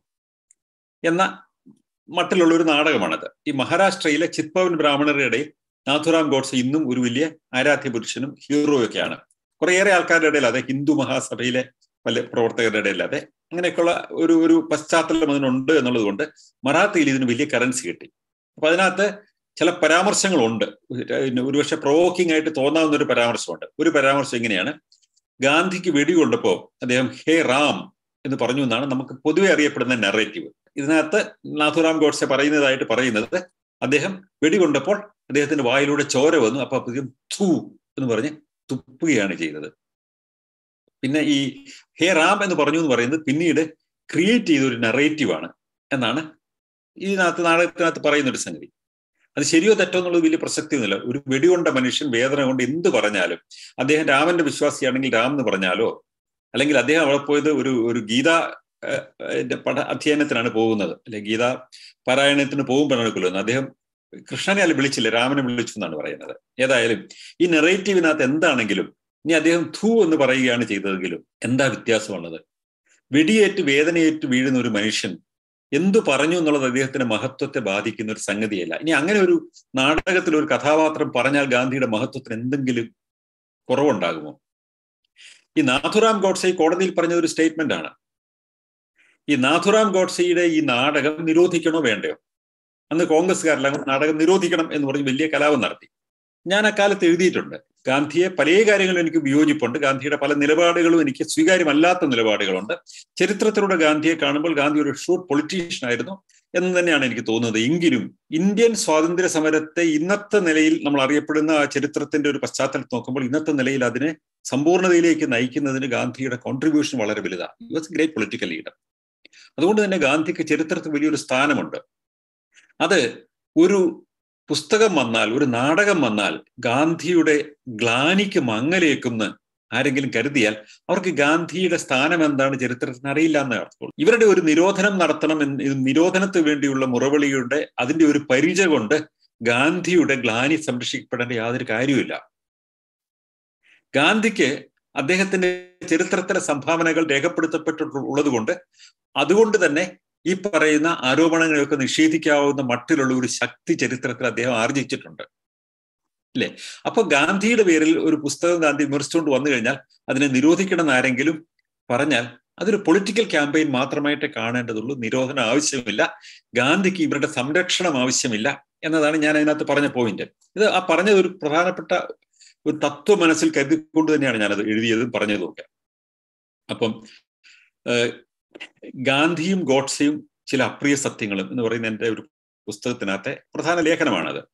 അപ്പൊ അത് പറയുന്നത് ഈ തത്വത്തിന്റെ അടിസ്ഥാനത്തിൽ തന്നെയാണ്. നാഥുറാം ഗോഡ്സെ പറഞ്ഞ നിലപാടുകൾ ഒരു ഒരിക്കലും സ്വീകരിക്കാനാകാത്ത നിലപാടാണ് എന്ന് കരുതുന്ന ഒരാളാണ് അതേസമയം തന്നെ അത് പറയാൻ നാഥുറാം ഗോഡ്സെക്ക് കോടതിയിൽ അത് പറയാൻ അധികാരമുണ്ട് അത് പ്രസിദ്ധീകരിക്കാൻ ആർക്കും അവകാശമുണ്ട് പബ്ലിക് ഡോക്യുമെന്റ് ആണ് പറയേണ്ടവർ പറഞ്ഞോട്ടെ. അതിനെ മറുപടി പറയാനുള്ള ത്രാണിയാണ് ഉണ്ടാക്കേണ്ടത്. അതിനെ നിരോധിക്കല്ല വേണ്ടത്. ഇത് തന്നെയാണ് ഇപ്പോൾ പരാമർശ വിധേയമായി വരുന്ന സിനിമയെക്കുറിച്ചും എനിക്ക് പറയാനുള്ളത്. ഈ സിനിമ അതിനകത്ത് പറയുന്ന ചില പ്രശ്നങ്ങളുണ്ട്. ഉന്നയിക്കാൻ ശ്രമിക്കുന്ന ചില പ്രശ്നങ്ങളുണ്ട്. അതിനകത്ത് കഠിനമായ അതിഭാവുകത്വം ഉണ്ട് എന്നുള്ളത് എല്ലാവർക്കും അറിയാം. ആർക്കും അതിന്റെ ആ സിനിമ നിർമ്മിച്ച ആൾക്ക് തന്നെ അറിയാം അല്ലേ? അതുകൊണ്ട് തന്നെയാണ് ഈ മുപ്പതിനായിരം എന്ന് പറയുന്ന സംഖ്യ പിന്നീട് മൂന്നാക്കി ചുരുക്കാനൊക്കെ തന്നെ ഒരു തയ്യാറായി വരുന്നത്. മാത്രമല്ല ഒരു ഡിസ്ക്ലെയിമർ കൊടുക്കുന്ന ഒരു കോടതിയിൽ ഇത് നിരോധിക്കണം എന്ന് പറഞ്ഞിട്ടൊരു ഒരു കേസ് വന്നപ്പോൾ കോടതി ആ വാദമുഖം അംഗീകരിച്ചില്ല. എന്തുകൊണ്ടാണ്? ഒരു കലാകാരൻ അതിനകത്തുള്ള സ്വാതന്ത്ര്യമുണ്ട് എന്നുള്ള നിലയിൽ തന്നെയാണ് അത് കോടതി കണ്ടത്. മറിച്ച് ഇത് വസ്തുതയുമായിട്ട് ബന്ധപ്പെട്ട് ഇതൊരു ആക്ട് ഇതൊരു വർക്ക് ഓഫ് ഫിക്ഷൻ ആണ് എന്ന് ഡിസ്ക്ലെയിമർ ആദ്യം എഴുതി കാണിക്കണം എന്ന് പറഞ്ഞു. അത് വളരെ പ്രധാനപ്പെട്ട ഒരു സംഗതിയാണ്. ഒരു പ്രേതകഥ ഉണ്ടായിരുന്നിരിക്കട്ടെ. അപ്പൊ വൈക്കം മുഹമ്മദ് ബഷീറിന്റെ ഭാർഗവി നിലയം സിനിമയായിട്ട് വരുന്നു. അതിനകത്ത് ഒരു യക്ഷിയായിട്ട് വരുന്ന ഒരു ആൾ അത് യാഥാർത്ഥ്യമാണോ? അതോ അസത്യമാണോ? അല്ലെങ്കിൽ നേരാണോ? സത്യമാണോ എന്നൊക്കെ നമുക്ക് ക്ലിയർ അല്ലാത്ത തരത്തിലാണ് അത് പ്രസന്റ് ചെയ്യുന്നത്. അങ്ങനെ പ്രസന്റ് ചെയ്യാവോ? ഇനി ഒരു യക്ഷിക്കഥ തന്നെ ഉണ്ടായിരിക്കട്ടെ. ഇപ്പൊ ഡ്രാക്കുള എന്ന് പറഞ്ഞൊരു സിനിമയുണ്ട്. അതിനകത്ത് പറയുന്നത് രക്തം കുടിക്കുന്ന ഒരു രക്തരക്ഷസ് ഡ്രാക്കുള എന്ന് പറഞ്ഞ ഒരാളുണ്ട് അങ്ങനെ വന്നിട്ട് ആൾക്കാരുടെ മരിച്ച ആൾക്കാരൊക്കെ എണീറ്റ് വന്നിട്ട് കുടിക്കുന്നു. പറഞ്ഞ ഒരു റുമേനിയൻ അന്ധവിശ്വാസമാണ്. അതിനെ ആധാരമാക്കിയിട്ടൊരു സിനിമയുണ്ട്. അത് നിരോധിക്കണം. അത് അന്ധവിശ്വാസമാണ് നമുക്കറിയാം. ജ്യോത്സ്യന്മാരുടെ ജ്യോത്സ്യന്മാരുടെ പ്രചോദനം ഒത്തുവരുന്നതായിട്ട് പറയുന്ന പല സിനിമകളുമുണ്ട് അന്ധവിശ്വാസമല്ലേ? കടുത്ത അന്ധവിശ്വാസമല്ലേ? നിരോധിക്കണം. ഇപ്പൊ അതിരാത്രം എന്ന് പറഞ്ഞിട്ടൊരു ഒരു സിനിമയുണ്ടായി. പ്രാർത്ഥിച്ചിട്ട് മഴ പെയ്യിക്കുന്നതിനെ കുറിച്ചൊക്കെയാണ് അതിനകത്ത് പറയുന്നത്. കുട്ടിച്ചാത്തൻ എന്ന് പറയുന്ന നാരായണപിള്ളിയും കാക്കനാടനും കൂടി ഒരു സിനിമ ഉണ്ടാക്കി കുട്ടിച്ചാത്തന്മാർ വന്നിട്ട് ആൾക്കാരെയൊക്കെ ഓടിക്കുന്നതൊക്കെ ആയിട്ടാണ് കഥ. അങ്ങനെ ഒരു സിനിമ ഉണ്ടാകാവോ. സാഹിത്യത്തിലും കലയിലും സിനിമയിലും ഒക്കെ ഒന്നും അങ്ങനെ ഒന്നും നിരോധനം ഉണ്ടാക്കേണ്ട കാര്യം ഇതൊക്കെ ആകാം. ഇതൊന്നും ഇല്ലാത്തൊരു കഥ ഇപ്പൊ മഹാഭാരതം അതിനകത്ത് ചരിത്രം വല്ലതും ഉണ്ടോ? ഇല്ല. എങ്കിലും അത് കഥയായിട്ട് വരാകോ? തീർച്ചയായിട്ടും ആകണം. കാരണം മഹാഭാരതം വലിയൊരു സാഹിത്യമാണ്. ഇന്ത്യയുടെ ഏറ്റവും വലിയ എപ്പിക്കുകളിലൊന്നാണ് മഹാഭാരതം. അല്ലെ? രാമായണത്തെക്കാളൊക്കെ വളരെ വലിയ വലിയ പോസിബിലിറ്റീസ് ഉള്ള ഒരു വലിയ എപ്പിക്കാണ്. അത് കഥയുടെ സാഹിത്യത്തിന്റെ കാര്യത്തിൽ ഒരുപാട് പോസിബിലിറ്റീസ് ഉള്ള ഒരു സംഗതിയാണ്. അത് സിനിമയായിട്ട് വരാവോ? അത് ഒരു മിത്തോളജി പ്രോത്സാഹിപ്പിക്കല്ലേ? നിരോധിക്കണം നമുക്ക് പറയുക നമ്മൾ പറയില്ല. എന്തുകൊണ്ടാണ് പറയാത്തത്? അതൊക്കെ ഉൾപ്പെടുന്നതാണ് നമ്മുടെ സംസ്കാരം. അത് ഈ യക്ഷിക്കഥകളും ഭൂതകഥകളും പ്രേതകഥകളും ഒക്കെ ഉൾപ്പെടുന്നതാണ് ഈ സാഹിത്യത്തിന്റെയും കലയുടെയും മേഖല എന്ന് പറയുന്നത്. അതൊന്നും നിരോധിക്കണം എന്നല്ല നമ്മൾ പറയേണ്ടത്. അതിനെ ഈ മിത്തുകളെ മിത്തായിട്ടും കഥകളെ കഥകളായിട്ടും ഭാവനയെ ഭാവനയായിട്ടും കാണാനും അതിനെ വസ്തുതകളുമായിട്ട് വേർതിരിച്ച് കാണാനുള്ള വിവേകബുദ്ധി വളർത്തിയെടുക്കുക എന്നുള്ളതാണ് പ്രധാനം. നിരോധനത്തിന്റെ അപ്രോച്ച് എന്ന് പറയുന്നത് മുസ്ലിം രാഷ്ട്രങ്ങൾക്കും കമ്മ്യൂണിസ്റ്റ് രാഷ്ട്രങ്ങൾക്കും വിട്ടുകൊടുക്കുക. അവരൊക്കെയാണ് അങ്ങനെ ചെയ്യുന്നത്. അവർക്ക് നിരോധിക്കാതെ ഇതിനെ അഡ്രസ്സ് ചെയ്യാൻ പറ്റുകയില്ല. ഈ സ്വാതന്ത്ര്യം കലയുടെ സ്വാതന്ത്ര്യം ആവിഷ്കാരത്തിന്റെ സ്വാതന്ത്ര്യം ചിന്തയുടെ സ്വാതന്ത്ര്യം എന്നൊക്കെ പറയുന്നത് അനുവദിക്കുകയും അതിനാരും അനുവദിക്കുകയല്ല. നമ്മുടെ ഫണ്ടമെന്റൽ നാച്ചുറൽ റൈറ്റ് ആണ്. ആരും കൊടുക്കുക പോലുമല്ല. ഗവൺമെന്റ് കൊടുക്കുന്ന ആവിഷ്കാര സ്വാതന്ത്ര്യമോ ഗവൺമെന്റ് കൊടുക്കുന്ന വിശ്വാസ സ്വാതന്ത്ര്യമോ അല്ലെങ്കിൽ ഗവൺമെന്റ് കൊടുക്കുന്ന വിമർശന സ്വാതന്ത്ര്യം എന്ന് പറയേണ്ട കാര്യമില്ല. ഒരു ഗവൺമെന്റിനും കൊടുക്കാൻ പറ്റുകയില്ല. ഇത് ഇൻഹെറന്റ് ആയിട്ടുള്ള ഹ്യൂമൻ റൈറ്റ് ആണിത് മനുഷ്യരുടെ സ്വാഭാവികമായ അവകാശമാണ് അഭിപ്രായങ്ങൾ പറയുകയാനും വിമർശിക്കാനും. അന്ധവിശ്വാസം ഉൾപ്പെടെയുള്ളത് ഫോളോ ചെയ്യാനുള്ള അധികാരമുണ്ട് ആൾക്കാർക്ക്. അത് തെറ്റാണെന്ന് പറയാനും അത് ബോധ്യപ്പെടുത്താനും വിവേചന ബുദ്ധി വളർത്തിയെടുക്കാനുമുള്ള സ്ഥിതിയാണ് ഉണ്ടാകേണ്ടത്. അത് എളുപ്പമാണ്. ഇതെല്ലാം നിരോധിച്ചാൽ എളുപ്പമാണ്. തിരിച്ചോർക്കണം. നമ്മൾ ഇപ്പൊ സ്വതന്ത്രമായി ചിന്തിക്കുന്ന ആശയങ്ങളെ നിരോധിച്ചു കഴിഞ്ഞാൽ അതിനെതിരായിട്ടും ട്രൈമ്പിംഗ് ഉണ്ടാകാം. ആ ഒരു തത്വമനുസരിച്ച് നമ്മൾ നോക്കിക്കഴിഞ്ഞാൽ ഒന്നിനെയും നിരോധിക്കുകയല്ല വേണ്ടത്. അതിന് തെറ്റാണെങ്കിൽ അത് തെറ്റാണെന്ന് ആൾക്കാരെ ബോധ്യപ്പെടുത്താനുള്ള ത്രാണി നമുക്ക് ഉണ്ടാവുകയാണ് വേണ്ടത്. ഈ സിനിമയ്ക്കകത്ത് പറയുന്ന കാര്യങ്ങൾ അസ്വീകാര്യമാണ്. അത് വസ്തുതകളുമായി പൊരുത്തപ്പെടുന്നതല്ല. പക്ഷെ അതിനകത്ത് ഒരു ഒരു ആശയം മുന്നോട്ട് വെക്കുകയാണ്. ആശയം മുന്നോട്ട് വെക്കുമ്പോൾ പലപ്പോഴും അതിഭാവത്വത്തിന്റെ ഭാഷ ഉപയോഗിക്കാറുണ്ട് ആൾക്കാർ ചിലപ്പോൾ വളരെ ശക്തമായിട്ട് അവ അവതരിപ്പിക്കാൻ ശ്രമിക്കാറുണ്ട്. ഉദാഹരണത്തിന് കാശ്മീരി പണ്ഡിറ്റുകളുടെ കഥ പറയുന്ന സിനിമയ്ക്കകത്ത് അതിഭാവുകത്വം ഉണ്ട് എന്നുള്ള ആക്ഷേപം ഉണ്ടായിട്ടുണ്ട്. പക്ഷെ അതൊരു അതിനകത്തൊരു വശം നമ്മൾ കാണാതെ പോയ ഒരു വശം അതിനകത്ത് വളരെ ശക്തമായി ആവിഷ്കരിക്കുകയാണ് അത് ആ സ്വാതന്ത്ര്യം കലാകാരനുണ്ട്. അതിനകത്ത് വസ്തുതകളുമായി പൊരുത്തപ്പെടാത്ത കാര്യങ്ങളുണ്ട് തന്നെ വേർതിരിച്ചറിയാനുള്ള വിവേചന ബുദ്ധിയാണ് നമുക്ക് ഉണ്ടാകേണ്ടത് ഇനി നോക്കൂ വേറെ മഹാഭാരതത്തിന്റെ കഥ പറഞ്ഞുകൊണ്ട് വേറെ കഥയും കൂടെ പറയാം. നമ്മുടെ എം ടി വാസുദേവൻ നായരുടെ രണ്ടാം ഊഴം. ഈ രണ്ടാം ഊഴം ഈ മഹാഭാരതത്തിൽ ഒരു കഥ. അതിനകത്ത് ഭീമനെ ഫോക്കസ് ചെയ്തുകൊണ്ട് ഭീമനും ദ്രൗപദിയുമായുള്ള ബന്ധം രണ്ടാമതാണ്. അർജുനൻ കഴിഞ്ഞിട്ട് രണ്ടാമതാണ് ഭീമനുള്ള ഊഴം അഞ്ചു പേരുടെയും കൂടെ പത്നിയാണ് ദ്രൗപദി. ആ ആ ഊന്നലിൽ നിർത്തിക്കൊണ്ട് ആ ഭീമന്റെ മനസ്സിനെ കേന്ദ്രീകരിച്ചുകൊണ്ടുള്ള ഒരു ഇന്റർപ്രിട്ടേഷനാണ് ഇതിനകത്തുള്ളത്. മഹാഭാരത കഥയിൽ ഇവിടെയും പറയാത്ത ഒട്ടേറെ കാര്യങ്ങൾ പറയുന്ന. എം ടി വാസുദേവൻ നായരുടെ ഭാവനയുടെ വലിയ ഉദാത്തമായ ഒരു ഉദാഹരണമാണ് രണ്ടാം ഊഴം എന്ന് പറയുന്ന ഈ നോവൽ എന്ന് പറയുന്നത്. അത് എം ടി വാസുദേവൻ നായർക്ക് അങ്ങനെ ഈ സിനിമയെ ഈ പറയുന്ന മഹാഭാരതത്തിലെ കഥയെ ഇന്റർപ്രറ്റ് ചെയ്യാൻ അധികാരമുണ്ടോ? ഉണ്ട് ഉണ്ടാവണം. തീർച്ചയായിട്ടും ഉണ്ടാവണം. അങ്ങനെ ഉണ്ടാകണമെങ്കിൽ അതുപോലെ തന്നെ മുഹമ്മദിന്റെ കഥയെ ഒന്ന് ഇന്റർപ്രറ്റ് ചെയ്ത് വേറൊരു കഥയായിട്ട് മറ്റൊരു രീതിയിൽ പ്രസന്റ് ചെയ്യാൻ സൽമാൻ റഷ്ദിക്ക് സ്വാതന്ത്ര്യമുണ്ടോ എന്ന് വെച്ചാൽ അതും ഉണ്ടാകണം.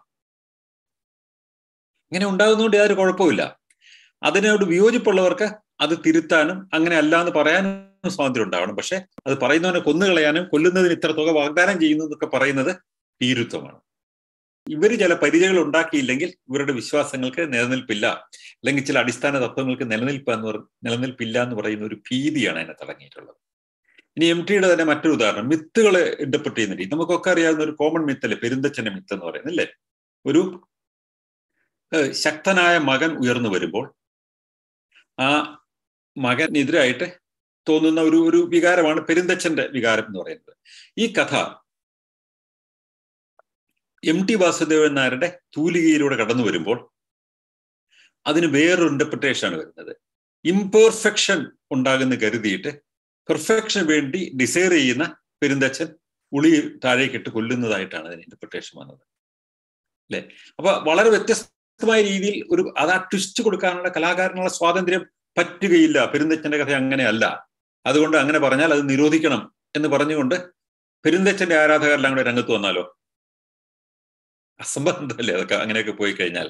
അല്ലെ? ഏത് കഥയും ഏതൊരാൾക്കും ഇന്റർപ്രറ്റ് ചെയ്യാൻ പറ്റും? ആ ഇന്റർപ്രറ്റ് ചെയ്യാൻ സാധ്യമാവുക ഏത് മിത്തെടുത്താലും ഏത് കഥയെടുത്താലും ഏത് സാഹിത്യത്തിലെ കഥാപാത്രങ്ങൾ എടുത്ത് തന്നെ വീണ്ടും ഇന്റർപ്രറ്റ് ചെയ്യാൻ പറ്റും. ആ ഇന്റർപ്രറ്റ് ചെയ്യാൻ കല അങ്ങനെയാണ് ഉണ്ടാകുന്നത് ചിത്രം രചിക്കപ്പെടുന്നത് നമ്മൾ ഒരു ഒരു ഒരു രൂപത്തെ കണ്ടിട്ടോ അല്ലെങ്കിൽ ഒരു ഒരു ഇമേജിനെ കണ്ടിട്ടോ അല്ലെങ്കിൽ ഇമേജറിയെ ചിത്രകാരൻ അവന്റെ ഭാവനയനുസരിച്ചിട്ട് പല രീതികളിൽ അതിനെ ആവിഷ്കരിക്കുകയാണ് ചെയ്യുന്നത്. അല്ലേ?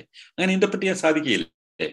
ഇപ്പോ ക്രിസ്തുവിന്റെ കഥയെ ആധാരമാക്കിയിട്ട് എത്ര സിനിമകളാണ് വന്നിട്ടുള്ളത്? എന്തെല്ലാം ഇന്റർപ്രിട്ടേഷൻസ് ആണ് വന്നിട്ടുള്ളത്? ഇപ്പൊ ഡാവിഞ്ചി കോഡ് എന്ന് പറയുന്ന ഒരു നോവൽ വന്നു. അത് പിന്നീട് സിനിമയായിട്ട് വന്നു. അതിനകത്ത് പറയുന്നത് വളരെ വ്യത്യസ്തമായ വേറൊരു കഥയാണ്. അത് ഒരു ഭാവന സമ്പുഷ്ടമായ ഒരു കഥയാണ്. അങ്ങനെ ഒരാൾക്ക് പറയാൻ പറ്റുമോ ക്രിസ്തുവിന്റെ കഥയെക്കുറിച്ച്? പറ്റണമല്ലോ?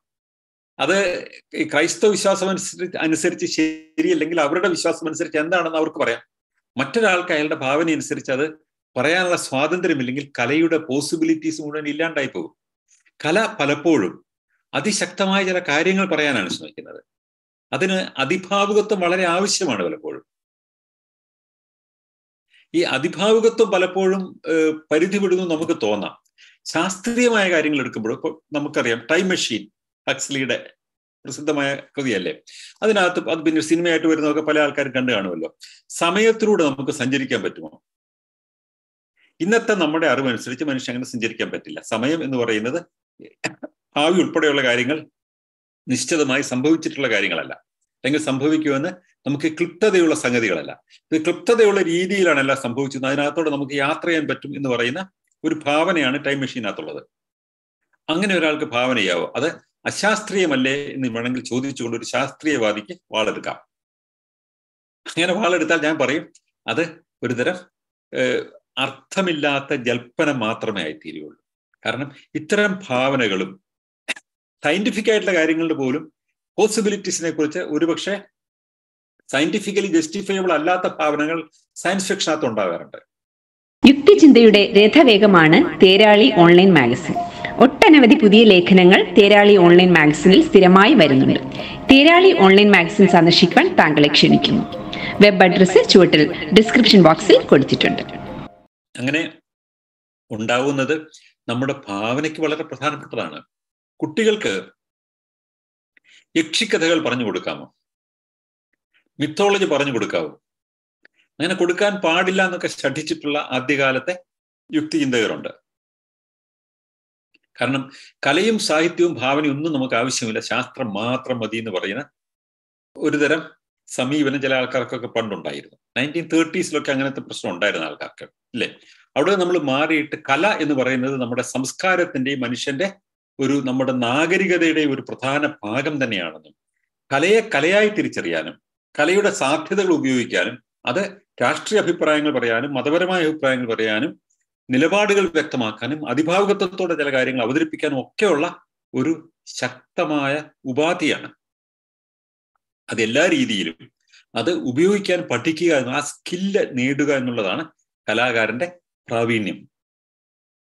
അതിനെതിരെ വാളെടുക്കുന്ന ആൾക്കാര് മധ്യകാലത്ത് ജീവിക്കേണ്ട ആൾക്കാരാണ്. നോക്ക് നമുക്ക് ഇപ്പൊ ഈ പറയുന്ന ഈ ഇഷ്യൂലേക്ക് തന്നെ വരാം.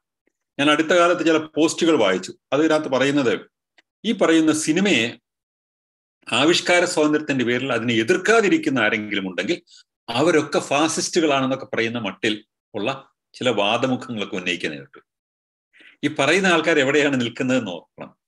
അവർ പറയുന്നത് അവർക്ക് കൺവീനിയന്റ് ആയിട്ടുള്ള കാര്യങ്ങൾക്ക് നമ്മൾ അവരുടെ കൂടെ നിന്നില്ലെങ്കിൽ നമ്മളൊക്കെ അവർ ശത്രുവായി കരുതുന്ന എന്തോ ആണ് എന്നാണ്. പണ്ട് മാവോ ഇങ്ങനെ ഒരു നിലപാടെടുത്തു. രണ്ടു കൂട്ടം ആൾക്കാരേ ഉള്ളൂ.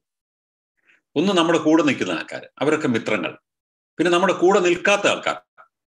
എതിർപക്ഷം എതിർക്കണമെന്ന് പോലുമില്ല. നമ്മുടെ കൂടെ അല്ലാത്ത ആൾക്കാർ അവരൊക്കെ ശത്രുക്കൾ. നമ്മളും നിങ്ങളും നിങ്ങളൊക്കെ ശത്രുക്കൾ. നമ്മളും ഞങ്ങളും നമ്മളും എന്ന് പറയുന്ന ഒരു വകുപ്പ് മാത്രം അക്സെപ്റ്റബിൾ എന്ന് പറയുന്ന വളരെ പരോക്കിയലായിട്ടുള്ള വളരെ റിജിഡ് ആയിട്ടുള്ള വളരെ അസംബന്ധപരമായ ഒരു സമീപനമുണ്ട്. ആ സമീപനത്തിന്റെ ഒരു ബഹിർസ്ഫുരണമാണ് ഈ പറയുന്ന തരത്തിലുള്ള തീവ്രവാദ മുദ്രാവാക്യങ്ങളിൽ അടങ്ങിയിട്ടുള്ളത്. മൂന്ന് പേരാണെങ്കിലും മുപ്പത് പേരാണെങ്കിലും മുപ്പതിനായിരം പേരാണെങ്കിലും മൂന്ന് ലക്ഷം പേരാണെങ്കിലും വിശ്വാസത്തിന്റെ പേരിൽ മതപരിവർത്തനം ചെയ്ത് തീവ്രവാദത്തിലേക്ക് പോകുന്നു എന്നൊരു ആക്ഷേപമുണ്ടെങ്കിൽ അങ്ങനെ ഇന്ത്യയുടെ പല ഭാഗങ്ങളിൽ ആൾക്കാർ പോയിട്ടുണ്ട്. എത്ര കുറവാണെങ്കിലും അതൊരു ഗൗരവമുള്ള സോഷ്യൽ ഇഷ്യൂ തന്നെയാണ് അതിനകത്ത് അടങ്ങിയിട്ടുള്ളത്. അതിലേക്ക് ഗൗരവമായി വിരൽ ചൂണ്ടുമ്പോൾ അത്തരം ഒരു അപകടത്തിലേക്കുള്ള വിരൽ ചൂണ്ടൽ കൂടിയാണുള്ളത്. ആ അപകടം കുറയ്ക്കുക എന്നുള്ള ഒരു ലക്ഷ്യം അതിനകത്തുണ്ട്. സ്വാഭാവികമായും അത് ഒരു കലാകാരന് അത് അവതരിപ്പിക്കാനും അത് ശക്തമായി ആർട്ടിക്കുലേറ്റ് ചെയ്യാനുമുള്ള സമ്പൂർണ സ്വാതന്ത്ര്യം ഉണ്ട്. എന്നോട് ചോദിച്ചാൽ ഞാൻ പറയും കേരളത്തെ സംബന്ധിച്ച ഒരു തെറ്റായ ചിത്രമാണ് അത് അവതരിപ്പിക്കുന്നത്. യാതൊരു സംശയവുമില്ല. ഞാൻ അതിനോട് യോജിക്കുന്നുണ്ടോ എന്ന് ഞാൻ യോജിക്കുന്നില്ല. നോക്ക് എന്റെ നിലപാട് യാതൊരു സംശയവുമില്ലാതെ തന്നെ വ്യക്തമാക്കാനാണ് ഞാൻ ആഗ്രഹിക്കുന്നത്. ഈ സിനിമയിൽ പറയുന്ന കഥ കേരള സ്റ്റോറി ആണെങ്കിൽ അത് ഒരു യഥാർത്ഥ ചിത്രമല്ല. കേരളത്തിലെ സ്ഥിതി അതല്ല. അതിനകത്ത് വസ്തുതകളാണ് നമ്മൾ പരിശോധിക്കുന്നതെങ്കിൽ അത് അസത്യമാണ്. എന്നാൽ ഒരു കലാകാരന് അങ്ങനെ ഒരു അപകടം ചൂണ്ടിക്കാണിക്കുന്നതിന് വേണ്ടി അതിഭാവികത്വത്തോടെ അത് പറയാൻ പറ്റുമോ എന്ന് ചോദിച്ചാൽ തീർച്ചയായും പറയാൻ പറ്റണം. അത് പറയാനുള്ള സ്വാതന്ത്ര്യത്തിനൊപ്പം ഞാൻ നിൽക്കുകയും ചെയ്യും. അതിനകത്തെ കണ്ടന്റിനെ ഞാൻ എതിർക്കുന്നു. അത് പറയാനുള്ള അയാളുടെ അവകാശത്തെ ഞാൻ തീർച്ചയായിട്ടും പിന്തുണയ്ക്കുന്നു. ഇതാണ് ഇക്കാര്യത്തിൽ എന്റെ നിലപാട്. ഇത്തരം കാര്യങ്ങൾ നമുക്ക് ആരെയും പ്രീതിപ്പെടുത്തേണ്ട കാര്യമില്ല. അത് ഇടതുപക്ഷത്തെയും പ്രീതിപ്പെടുത്തേണ്ട കാര്യമില്ല. ബി ജെ പിയും പ്രീതിപ്പെടുത്തേണ്ട കാര്യമില്ല. അതുപോലെ തന്നെ മുസ്ലിങ്ങളെയും പ്രീതിപ്പെടുത്തേണ്ട കാര്യമില്ല. ഹിന്ദുപക്ഷത്തെയും പ്രീതിപ്പെടുത്തേണ്ട കാര്യമില്ല. നമുക്ക് ഒരു അടിസ്ഥാന തത്വത്തെ മാത്രം ആധാരമാക്കിയാണ് നമ്മൾ സംസാരിക്കുന്നത്. ആവിഷ്കാര സ്വാതന്ത്ര്യം കലാകാരന്റെ സ്വാതന്ത്ര്യം അവർക്ക് രാഷ്ട്രീയം പറയാനും വ്യത്യസ്തമായ നിലപാടുകൾ പറയാനും അത് ശക്തമായി ആർട്ടിക്കുലേറ്റ് ചെയ്യാനും അതിന് അതിഭാവുകത്വം ഉൾപ്പെടെ കലർത്തിക്കൊണ്ട് പറയാനും ഒക്കെയുള്ള സ്വാതന്ത്ര്യമുണ്ട്. ആ സ്വാതന്ത്ര്യം ഉപയോഗിക്കുകയാണ് വേണ്ടത്. അതിനകത്ത് പറയുന്ന വസ്തുതകളോ വിയോജിപ്പുണ്ടെങ്കിൽ അത് ചൂണ്ടിക്കാണിക്കുകയാണ് വേണ്ടത്. ഇനി പറയണ്ടേ ഈ പറയുന്ന സിനിമ ഉണ്ടായതുകൊണ്ട് രണ്ട് ഗുണമുണ്ടായി ഇല്ലേ? ഒന്ന് അതിൽ പറയുന്ന വസ്തുതകൾ ഫാക്ച്വലി കറക്റ്റ് അല്ല എന്ന് കേരള സമൂഹം ഒന്നടങ്കം പറഞ്ഞു. അതിനെ അനുകൂലിക്കുന്ന ആൾക്കാർ പോലും അത് പറഞ്ഞു. അതുകൊണ്ട് തന്നെ അതിനൊരു ദുഷ്പ്രചരണം ഒരു ഒരു ഫാക്ച്വൽ എറർ അതിനകത്തുണ്ടെങ്കിൽ ആ ഫാക്ച്വൽ എറർ ആർട്ടിക്കുലേറ്റ് ചെയ്യാൻ അത് ഉദ്ദേശിച്ചു എന്നുള്ള ആക്ഷേപമുണ്ടെങ്കിൽ ആക്ഷേപം വിജയിച്ചിട്ടില്ല. ആരും തന്നെ ഈ മുപ്പതിനായിരം പേര് കേരളത്തിൽ നിന്ന് പോയിന്നോ അല്ലെങ്കിൽ ഇങ്ങനെ വൻതോതിൽ അങ്ങോട്ടേക്ക് സിറിയയിലേക്ക് പോയിന്നൊന്നും ആരും വിശ്വസിക്കുന്നില്ല. എന്നാൽ അങ്ങനെ ഒരു പോസിബിലിറ്റി ഉണ്ടോ എന്ന് ചോദിച്ചാൽ ആ പോസിബിലിറ്റി ഒരു അപകടം തന്നെയാണ്. അത് അതിലേക്ക് ഒരാൾ ചൂണ്ടിക്കാണിക്കുന്നു എന്ന് പറയുന്നത് ഒരു കുഴപ്പമില്ല എന്ന് മാത്രമല്ല അത് ഒരു കലാകാരനുള്ള സ്വാതന്ത്ര്യം തന്നെയാണ്. അതിനെ ഭയക്കേണ്ട കാര്യമൊന്നുമില്ല. നിരോധിക്കണം എന്ന് മുറവിളി കൂട്ടുന്നവര് നിരോധിച്ചു കഴിഞ്ഞാൽ ഉണ്ടാകുന്ന എന്താണ്? നിരോധിക്കുന്ന ഏതെങ്കിലും സംഗതി ഇല്ലാണ്ടായി തീരുമോ ഇപ്പൊ നമുക്കൊക്കെ അറിയാം സാത്താനിക് വേഴ്സസ് ഇന്ത്യയിൽ നിരോധിച്ചിട്ടുള്ള പുസ്തകമാണ് അല്ലേ? എനിക്കത് ആദ്യം വായിക്കാൻ കിട്ടിയത് ഒരു മുൻ കേന്ദ്രമന്ത്രിയുടെ അടുത്ത് നിന്നാണ് അദ്ദേഹം അന്ന് കേന്ദ്രമന്ത്രിയായിരുന്നു. അദ്ദേഹം അത് വായിക്കായിരുന്നു വായിച്ചിട്ടുണ്ടെന്നുള്ളത് അപ്പൊ വ്യക്തമാണല്ലോ ഇല്ലേ? അത് ഞാൻ അതിന്റെ എത്രയോ കോപ്പികൾ ഇന്ത്യയിൽ കണ്ടിട്ടുണ്ട് എത്രയോ എത്രയോ പ്രമുഖരായ രാഷ്ട്രീയ നേതാക്കന്മാരുടെ വീടുകൾ ഞാൻ അത് കണ്ടിട്ടുണ്ട്. ഞാൻ ഡൽഹി ദീർഘകാലം ഒരു പത്രപ്രവർത്തകനായിരുന്നു. നിരോധിച്ചുകൊണ്ട് എവിടെയെങ്കിലും അത് ഇല്ലാണ്ടായോ? ഏതെങ്കിലും ഒരു സാധാരണക്കാരൻ അത് കൈവച്ചു കഴിഞ്ഞാൽ ചിലപ്പോൾ ഒരു പോലീസുകാരെ പിടിച്ച് അറസ്റ്റ് ചെയ്തെന്ന് വരാം. പക്ഷേ ആ പുസ്തകം ഇല്ലാണ്ടായോ അതുകൊണ്ട്? ഇന്ന് അതിന്റെ ഇ ബുക്ക് ആർക്ക് വേണമെങ്കിലും ഡൗൺലോഡ് ചെയ്യാൻ പറ്റിയല്ലേ? നിരോധനം കൊണ്ട് എന്തെങ്കിലും ഇല്ലാണ്ടാകുമോ ആ പുസ്തകത്തിന് ലോക പ്രശസ്തി ലഭിക്കാൻ അത് കാരണമായി എന്നല്ലേ ഉള്ളൂ. അത് ഒരു നിരോധനത്തിന്റെ നിരർത്ഥകത ഒഴിവാക്കുന്ന ഒരു സംഗതിയാണെങ്കിൽ നിരോധനം അതിന്റെ ഇൻ പ്രിൻസിപ്പിൾ അത് തെറ്റാണ്. ഒരാശയത്തെയും നിരോധിച്ചല്ല തോൽപ്പിക്കേണ്ടത്. അതിനെതിരായിട്ട് അഭിപ്രായ രൂപീകരണം വഴിയാണ് അതിനോട് കൗണ്ടർ ചെയ്യേണ്ടത്. ഈ പറയുന്ന സിനിമയ്ക്കകത്തുള്ള ഏതെങ്കിലും കാര്യങ്ങളോട് വിയോജിപ്പുള്ള ഒത്തിരി ആൾക്കാരുണ്ട്. എനിക്കുണ്ട് വിയോജിപ്പ്. ഉദാഹരണത്തിന് കേരളത്തെ അത് മിസ്റെപ്രസെന്റ് ചെയ്തു എന്നും കേരളത്തെക്കുറിച്ചുള്ള ഒരു തെറ്റായ ഇമേജ് കൊടുക്കാൻ അത് വഴിയൊരുക്കിയെന്നും ഞാൻ വല്ലാതെ എനിക്ക് തോന്നി. അതിനെ കൗണ്ടർ ചെയ്യാൻ എന്നോട് അതിനെക്കുറിച്ച് സംസാരിക്കുന്ന ആൾക്കാരോടൊക്കെ തന്നെ ഈ മിസ്റെപ്രസെന്റഡ് ഫാക്ട്സ് ആണ് അതിനകത്തുള്ളതെന്നും അതിനകത്ത് വല്ലാത്ത അതിഭാഗത്വം ഉണ്ടെന്നും പറയാൻ ഞാൻ ഒരു മടിയും കാണിച്ചിട്ടില്ല. എന്നാൽ അത് നിരോധിക്കണം എന്ന് പറഞ്ഞ ആൾക്കാരോടൊക്കെ തന്നെ ഞാൻ പറയാറുള്ളത്. അത് നിരോധിക്കുന്നത് ശരിയായ നിലപാടല്ല. അത് ആവിഷ്കരിക്കാൻ ആ കലാകാരനുള്ള സ്വാതന്ത്ര്യത്തെ മതിക്കാതിരിക്കുന്നത് ഒരു പാകതയുള്ള സമൂഹത്തിന്റെയോ നാഗരികമായ ഒരു സമൂഹത്തിന്റെയോ വികസിതമായ ഒരു സമൂഹത്തിന്റെയോ ലക്ഷണം അല്ല. നമ്മൾ പഠിക്കേണ്ടത് സഹിഷ്ണുത ഉള്ളവരായി തീരാനാണ് നമ്മൾ പഠിക്കേണ്ടത് വിമർശനങ്ങളെ നമ്മൾ നേരിടാനാണ്. വിമർശനങ്ങളെ അടിച്ചൊതുക്കാനല്ല. വിമർശിക്കുന്നവരെ തല്ലാനല്ല നമ്മൾ പഠിക്കേണ്ടത്. വിമർശനം നമ്മൾ കേൾക്കേണ്ടത് കേൾക്കുകയും അവഗണിക്കേണ്ടത് അവഗണിക്കുകയും മറുപടി പറയേണ്ടത് മറുപടി പറയുകയും തിരുത്തേണ്ടത് തിരുത്താനും ഒക്കെ പറ്റുന്ന രീതിയിലുള്ള ഒരു സാഹചര്യമാണ് ഉണ്ടാകേണ്ടത്. എല്ലാവരെയും നമുക്ക് എല്ലാ കാര്യങ്ങളും ഒരേ രീതിയിൽ മനസ്സിലാക്കാൻ മനസ്സ് മനസ്സിൽ അവരെ മനസ്സിലാക്കിപ്പിക്കുവാൻ നമുക്ക് പറ്റിയെന്ന് വരില്ല. അത് ലോകത്തിൽ ആർക്കും പറ്റുകയില്ല. അങ്ങനെയാണെങ്കിൽ ലോകത്തിൽ ഒരു അഭിപ്രായവും ഒരു വീക്ഷണവും ഒരു ലോകവീക്ഷണവും ഒക്കെ ഉണ്ടാവുള്ളൂ. ഇപ്പൊ വ്യത്യസ്തമായ അഭിപ്രായങ്ങളുണ്ട് വ്യത്യസ്തമായ നിലപാടുകളുണ്ട് വ്യത്യസ്തമായ ആർട്ടിക്കുലേഷൻസ് ഉണ്ട് വ്യത്യസ്തമായ ബോധങ്ങളുണ്ട്. അതൊക്കെ പുലർത്താൻ ആൾക്കാർക്ക് സ്വാതന്ത്ര്യമുണ്ട്. അവർക്ക് അത് പ്രചരിപ്പിക്കാൻ സ്വാതന്ത്ര്യമുണ്ട് അഭിപ്രായങ്ങൾ പറയാൻ സ്വാതന്ത്ര്യമുണ്ട് പ്രചരിപ്പിക്കാൻ സ്വാതന്ത്ര്യമുണ്ട് കലയിലൂടെ ആവിഷ്കരിക്കാൻ സ്വാതന്ത്ര്യമുണ്ട്. പക്ഷേ നിങ്ങൾക്ക് അതിനോട് വിയോജിക്കാനും സ്വാതന്ത്ര്യമുണ്ട് അത് പ്രചരിപ്പിക്കാൻ സ്വാതന്ത്ര്യമുണ്ട്. ഒരുപക്ഷെ അതിനകത്ത് പറഞ്ഞ ആശയങ്ങൾ ഒരു പ്രത്യേക പൊളിറ്റിക്കൽ ക്യാമ്പയിൻ ആണെങ്കിൽ അതിനെ കൗണ്ടർ ചെയ്യാൻ ഒരു അവസരം കൂടി കിട്ടൂ എന്നല്ല അതിനെ എതിർക്കുന്ന ആൾക്കാർ കരുതേണ്ടത് അതിനെ കൗണ്ടർ ചെയ്യാൻ അല്ലെങ്കിൽ ഒരു ഓപ്പർച്യൂണിറ്റി അവർക്ക് ഉണ്ടായിരുന്നില്ല. ഇനേവേ അതിനെ പൊളിറ്റിക്കലി കൗണ്ടർ ചെയ്യാൻ മറ്റു കൂട്ടർ ശ്രമിക്കുമ്പോൾ യഥാർത്ഥത്തിൽ ഒരു പൊളിറ്റിക്കൽ പ്രോസസ്സിൽ നടക്കേണ്ട സംഗതിയാണ് നടക്കുന്നത്. ഒരാശയം മുന്നോട്ട് വരുന്നു. അതിനെ തെറ്റാണെന്ന് കരുതുന്ന ആൾക്കാർ അതിനെ കൗണ്ടർ ചെയ്യുന്നു. ഇവിടെ പബ്ലിക് ഡൊമൈനിലാണ് ഈ ഡിസ്കഷൻ നടക്കേണ്ടത്. അല്ലാതെ നിയമത്തിന്റെ തുലാസിലല്ല. നിയമം കൊണ്ടല്ല പ്രശ്നങ്ങളെ നമ്മൾ അഡ്രസ്സ് ചെയ്യേണ്ടത്.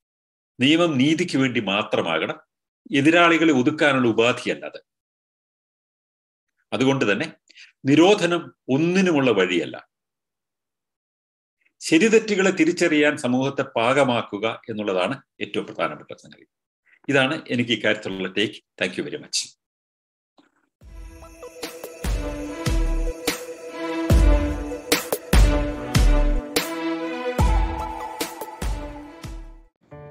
യുക്തിവാദവും സ്വതന്ത്ര ചിന്തയുമായി ബന്ധപ്പെട്ട നിരവധി പുസ്തകങ്ങൾ ഇപ്പോൾ ഓൺലൈനിൽ വാങ്ങാനാകും. ഇന്ത്യൻ എത്തീസ് പബ്ലിഷേഴ്സിന്റെ ഓൺലൈൻ സ്റ്റോറിന്റെ ലിങ്ക് ചുവട്ടിൽ ഡിസ്ക്രിപ്ഷൻ ബോക്സിൽ കൊടുത്തിട്ടുണ്ട്.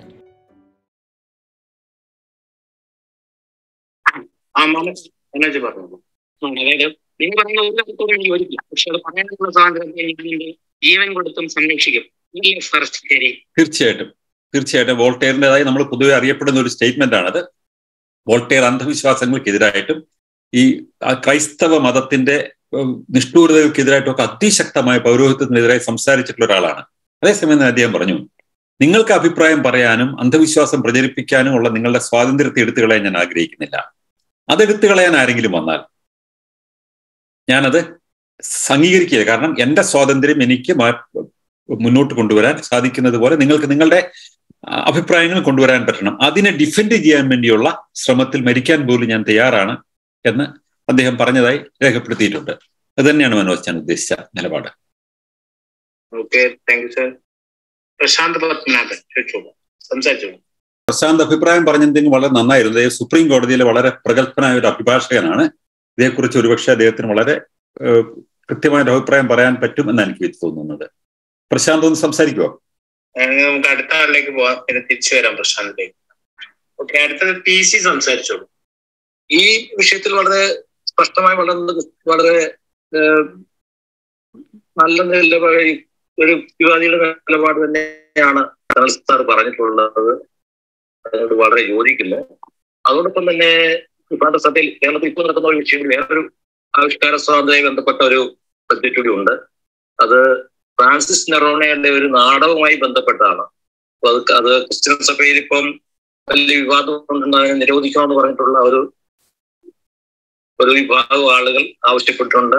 കുറെ രാഷ്ട്രീയ നേതാക്കൾ അത് നിരോധിക്കണമെന്ന് ശക്തമായി വാദിക്കുന്നു. ഇപ്പൊ കെ മുരളീധരനെ പോലുള്ള ആളുകൾ പഠിക്കണമെന്ന് പറയുന്നുണ്ട്.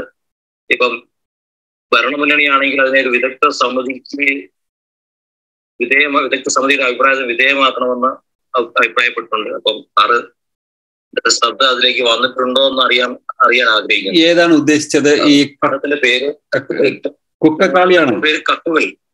കക്കുകളി. കക്കുകളി കക്കുകളി. ഞാനത് ഞാനതിനെ കുറിച്ച് കണ്ടു. ഞാൻ അതിന്റെ ഈ പിന്നെ എനിക്കതിന്റെ ഒറിജിനലോ അതിന്റെ വീഡിയോ ഒന്നും കാണാൻ പറ്റിയിട്ട് അതേക്കുറിച്ചിട്ടുള്ള കുറെ വിവരങ്ങൾ മാത്രമേ കിട്ടിയുള്ളൂ. എന്താണെങ്കിലും ഒരു നാടകത്തെ നിരോധിച്ചത് കൊണ്ട് അതിനകത്ത് പറയാൻ ഉദ്ദേശിക്കുന്ന കാര്യങ്ങളെ തടയാൻ ആരെങ്കിലും കരുതിയിട്ടുണ്ടെങ്കിൽ അവർ വിട്ടികളുടെ സ്വർഗത്തിൽ മാത്രമാണ് കഴിയുന്നത്. ഈ ഈ നാടകത്തിനകത്ത് പറയുന്നത് കന്യാസ്ത്രീകൾ അനുഭവിക്കുന്ന പ്രശ്നങ്ങളെ കുറിച്ചിട്ട് ഒരു വളരെ ശക്തമായ ആവിഷ്കാരമായിട്ടാണ് ഞാൻ മനസ്സിലാക്കിയിട്ടുള്ളത്. അത് വളരെ ഗൗരവമുള്ള ഒരു വിഷയമാണ് അത് ആർട്ടിക്കുലേറ്റ് ചെയ്യേണ്ട ഒരു വിഷയമാണ്. അതിനൊരു കലാകാരൻ ഈ പറയുന്ന നാടകം എന്ന് പറയുന്ന സങ്കേതത്തെ ഉപയോഗിച്ചിട്ടുണ്ടെങ്കിൽ അതിനെ അഭിനന്ദിക്കുകയല്ലേ വേണ്ടത്? അത് അത് ഒരു ആ വശത്ത് നിന്ന് ചിന്തിക്കുന്ന ഒരാൾ എന്നുള്ള നിലയിൽ തന്നെയാണ് ഞാൻ പറയുന്നത്. ഇനി മറിച്ച് ഞാൻ മുമ്പ് മുമ്പ് പറഞ്ഞ അതേ സ്പിരിറ്റ് ഞാൻ ഡിറ്റാച്ച് ചെയ്ത് ചിന്തിച്ചാൽ പോലും. അതിനകത്ത് എന്റെ ഇഷ്ടാനിഷ്ടങ്ങളോ താല്പര്യങ്ങളോ അവിടെ മാനദണ്ഡമാക്കാതെ ചിന്തിച്ചാൽ പോലും നാടകം നിരോധിക്കാൻ ഇനി അത് ക്രിസ്തുമതം പ്രചരിപ്പിക്കുന്ന നാടകമാണെങ്കിലും അത് നിരോധിക്കാൻ പാടില്ല എന്ന് തന്നെയാണ് എന്റെ അഭിപ്രായം. ഈ നാടകം ഇനി എന്റെ വ്യക്തിപരമായ ഫീലിംഗ് ആണ് ചോദിച്ചെങ്കിൽ I support with content of it ഞാൻ വായിച്ചെടുത്തോളാം. അങ്ങനെ ഞാൻ സപ്പോർട്ട് ചെയ്യുന്ന അല്ലെങ്കിൽ പോലും ആണെങ്കിലും അല്ലെങ്കിലും ഒരു നാടകം നിരോധിക്കണമെന്ന് ആരെങ്കിലും പറഞ്ഞു കഴിഞ്ഞാൽ അവർ ആധുനിക സമൂഹത്തിന് യോജിച്ച ആൾക്കാരല്ല. നാടക നിരോധനം തെറ്റാണ്. നമ്മളത് വളരെ ശക്തമായി ആർട്ടിക്കുലേറ്റ് ചെയ്യേണ്ട വിഷയം തന്നെയാണ് അതൊക്കെ. Okay thank you sir Prashanth ഇപ്പോ ഓടുകളാണ് ഓക്കെ പ്ലീസ് സംസാരിച്ചത് സമന്വയവർത്തി സാർ പറഞ്ഞതിനോട് ഞാൻ നിമിഷമായി യോജിക്കുകയാണ്. കാരണം ഇത് ഈ ഫ്രീ സ്പീച്ചിനെ പറ്റിയൊക്കെ ഒരു അതോറിറ്റി ആയിട്ടുള്ള professor Timothy Garton Ash Oxford university professor അദ്ദേഹം പറയുന്നത് ഇങ്ങനെയുള്ള കാര്യങ്ങളിൽ my respect for you as a believer നമ്മൾ ഒരു ഇൻഡിവിജ്വലിനെ കംപ്ലീറ്റ് ആയിട്ട് അംഗീകരിക്കുന്നു. പക്ഷേ my conditional respect for the content of the believe നിങ്ങളുടെ വിശ്വാസത്തെ ഞാൻ ബഹുമാനിക്കണമെന്ന് അതിന് അർത്ഥമില്ല. ഒരു വിശ്വാസിക്ക് അദ്ദേഹത്തിന് ആവശ്യമുള്ള കാര്യങ്ങൾ വിശ്വസിക്കാം. വിശ്വാസത്തെ ഞാൻ ബഹുമാനിച്ചോണം എന്ന അർത്ഥമില്ല നമ്മൾ ഇന്ത്യയിൽ ഈ ഒരു രീതിയിൽ ആളുകൾ മനസ്സിലാക്കിയിട്ടില്ല. ഇവിടുത്തെ രാഷ്ട്രീയക്കാരൊക്കെ അവരുടെ സെൽഫിഷ് ആയിട്ടുള്ള ഇൻട്രസ്റ്റിന് വേണ്ടിയായിരിക്കും ക്ലർജികളെ എപ്പോഴും സപ്പോർട്ട് ചെയ്തിട്ട് മതത്തെ അപമാനിക്കാൻ പാടില്ല. എല്ലാവരും ബാക്കി മതങ്ങളെ ബഹുമാനിക്കണം എന്നാണ് ഭരണഘടന പറയുന്നത് ഒത്തിരി പറയാം പക്ഷെ ഭരണഘടനയിൽ ഒരിടത്തും നമ്മൾ മതങ്ങളെ ബഹുമാനിക്കണം എന്ന് പറയുന്നില്ല. കാരണം മതങ്ങൾ ആശയങ്ങളാണ്. മതങ്ങൾ ഏത് മതത്തിലും വിശ്വസിക്കാൻ ഉള്ള വ്യക്തിയുടെ അവകാശത്തെ അംഗീകരിക്കും. വ്യക്തികളെ മതത്തിന്റെ പേരിൽ അല്ലെങ്കിൽ വിശ്വാസത്തിന്റെ പേരിൽ ഡിസ്ക്രിമിനേറ്റ് ചെയ്യാൻ പാടില്ല. വ്യക്തികളെ നമ്മൾ ബഹുമാനിക്കുന്നത് അതിനെ അതിന് അതിന്റെ വ്യക്തികളുടെ ആശയങ്ങളെ മുഴുവൻ അല്ലെങ്കിൽ അവർ വിശ്വസിക്കുന്ന വിശ്വാസങ്ങളെ മുഴുവൻ ബഹുമാനിക്കണം എന്നുള്ള കാര്യത്തിലേക്ക് പോകുന്നില്ല. വിശ്വാസങ്ങളെ ചോദ്യം ചെയ്യാം. അത് ഐഡിയാസ് ആണ്. ഐഡിയാസിന് റൈറ്റ്സ് ഒന്നുമില്ല. പക്ഷെ വ്യക്തികൾ എല്ലാവരും തുല്യരാണ്. തുല്യ അവകാശമുള്ള വ്യക്തികൾക്ക് അവർ ഇഷ്ടപ്പെട്ട വിശ്വാസങ്ങൾ വെച്ച് പുലർത്താൻ അവകാശമുണ്ട്. പക്ഷെ വിശ്വാസങ്ങൾ ചോദ്യം ചെയ്യാനും ബാക്കിയുള്ള വ്യക്തികൾക്ക് അവകാശമുണ്ട്. ഫിലിപ്പ് ഉൾമാൻ ഒരു പ്രാവശ്യത്തിൽ പുസ്തകം എഴുതിയത് the good man Jesus Christ shocking ആയിട്ടുള്ള ടൈറ്റിലല്ലേ എന്ന് ചോദിച്ചപ്പോൾ അദ്ദേഹം ടോക്കിംഗ് ആയിട്ടുള്ള ടൈറ്റിലാണ് പക്ഷെ നിങ്ങൾക്ക് ഡോണ്ട് ഹാവ് എ റൈറ്റ് നിങ്ങൾ ഷോക്ക് പക്ഷെ അത് ഷോക്ക് ആവരുത് എന്നുള്ള ഒരു റൈറ്റ് ഒന്നും ഇല്ല നിങ്ങൾ ഈ പുസ്തകം വായിക്കണ്ട ഇഷ്ടമല്ലെങ്കിൽ പുസ്തകം വായിക്കണ്ട. അല്ലെങ്കിൽ വായിച്ചിട്ട് അതിനെ ക്രിട്ടിക്ക് ഇല്ലെങ്കിൽ എനിക്ക് ലെറ്റർ എഴുതാം ഇതിന് വേറെ പുസ്തകങ്ങൾ നിങ്ങൾക്ക് എഴുതാം ഇതിനെതിരായിട്ടുള്ള കൗണ്ടർ വ്യൂ അവതരിപ്പിക്കാം. പക്ഷെ അവിടെ തീർന്നു. അതല്ലാതെ പുസ്തകം ബാൻ ചെയ്യണം എന്ന് പറയാൻ നിങ്ങൾക്ക് യാതൊരു അവകാശവും ഇല്ല എന്ന് പറയും. ഈ- കാര്യങ്ങളെല്ലാം പറഞ്ഞത് വളരെ ക്ലിയർ ആണ്. നേരത്തെ ആ നാഥറാം ഗോഡ്സയുടെ നാടകത്തിന്റെ കാര്യം പറയാം. ഇപ്പോഴത്തെ ചീഫ് ജസ്റ്റിസ് ബോംബെ ഹൈക്കോടതി ജഡ്ജിയായിരുന്നപ്പോൾ ഗവൺമെന്റ് ഇത് ബാൻ ചെയ്തത് ക്വാഷ് ചെയ്തു. അന്നേ അന്നേരം അദ്ദേഹം പറഞ്ഞത് ഒരു നാടകം പെർമിഷൻ കൊടുക്കുന്നതിന്റെ അർത്ഥം നാടകത്തിൽ പറഞ്ഞിട്ടുള്ള കാര്യങ്ങളുടെ മുഴുവൻ ശരിയാകണം എന്നൊന്നും നിയമത്തിൽ നിബന്ധനയില്ല കാരണത്തിന് പറയുന്ന ഒരാൾ യോജിക്കാം യോജിക്കാതിരിക്കാം. കലകളെല്ലാം അങ്ങനെയാണ്.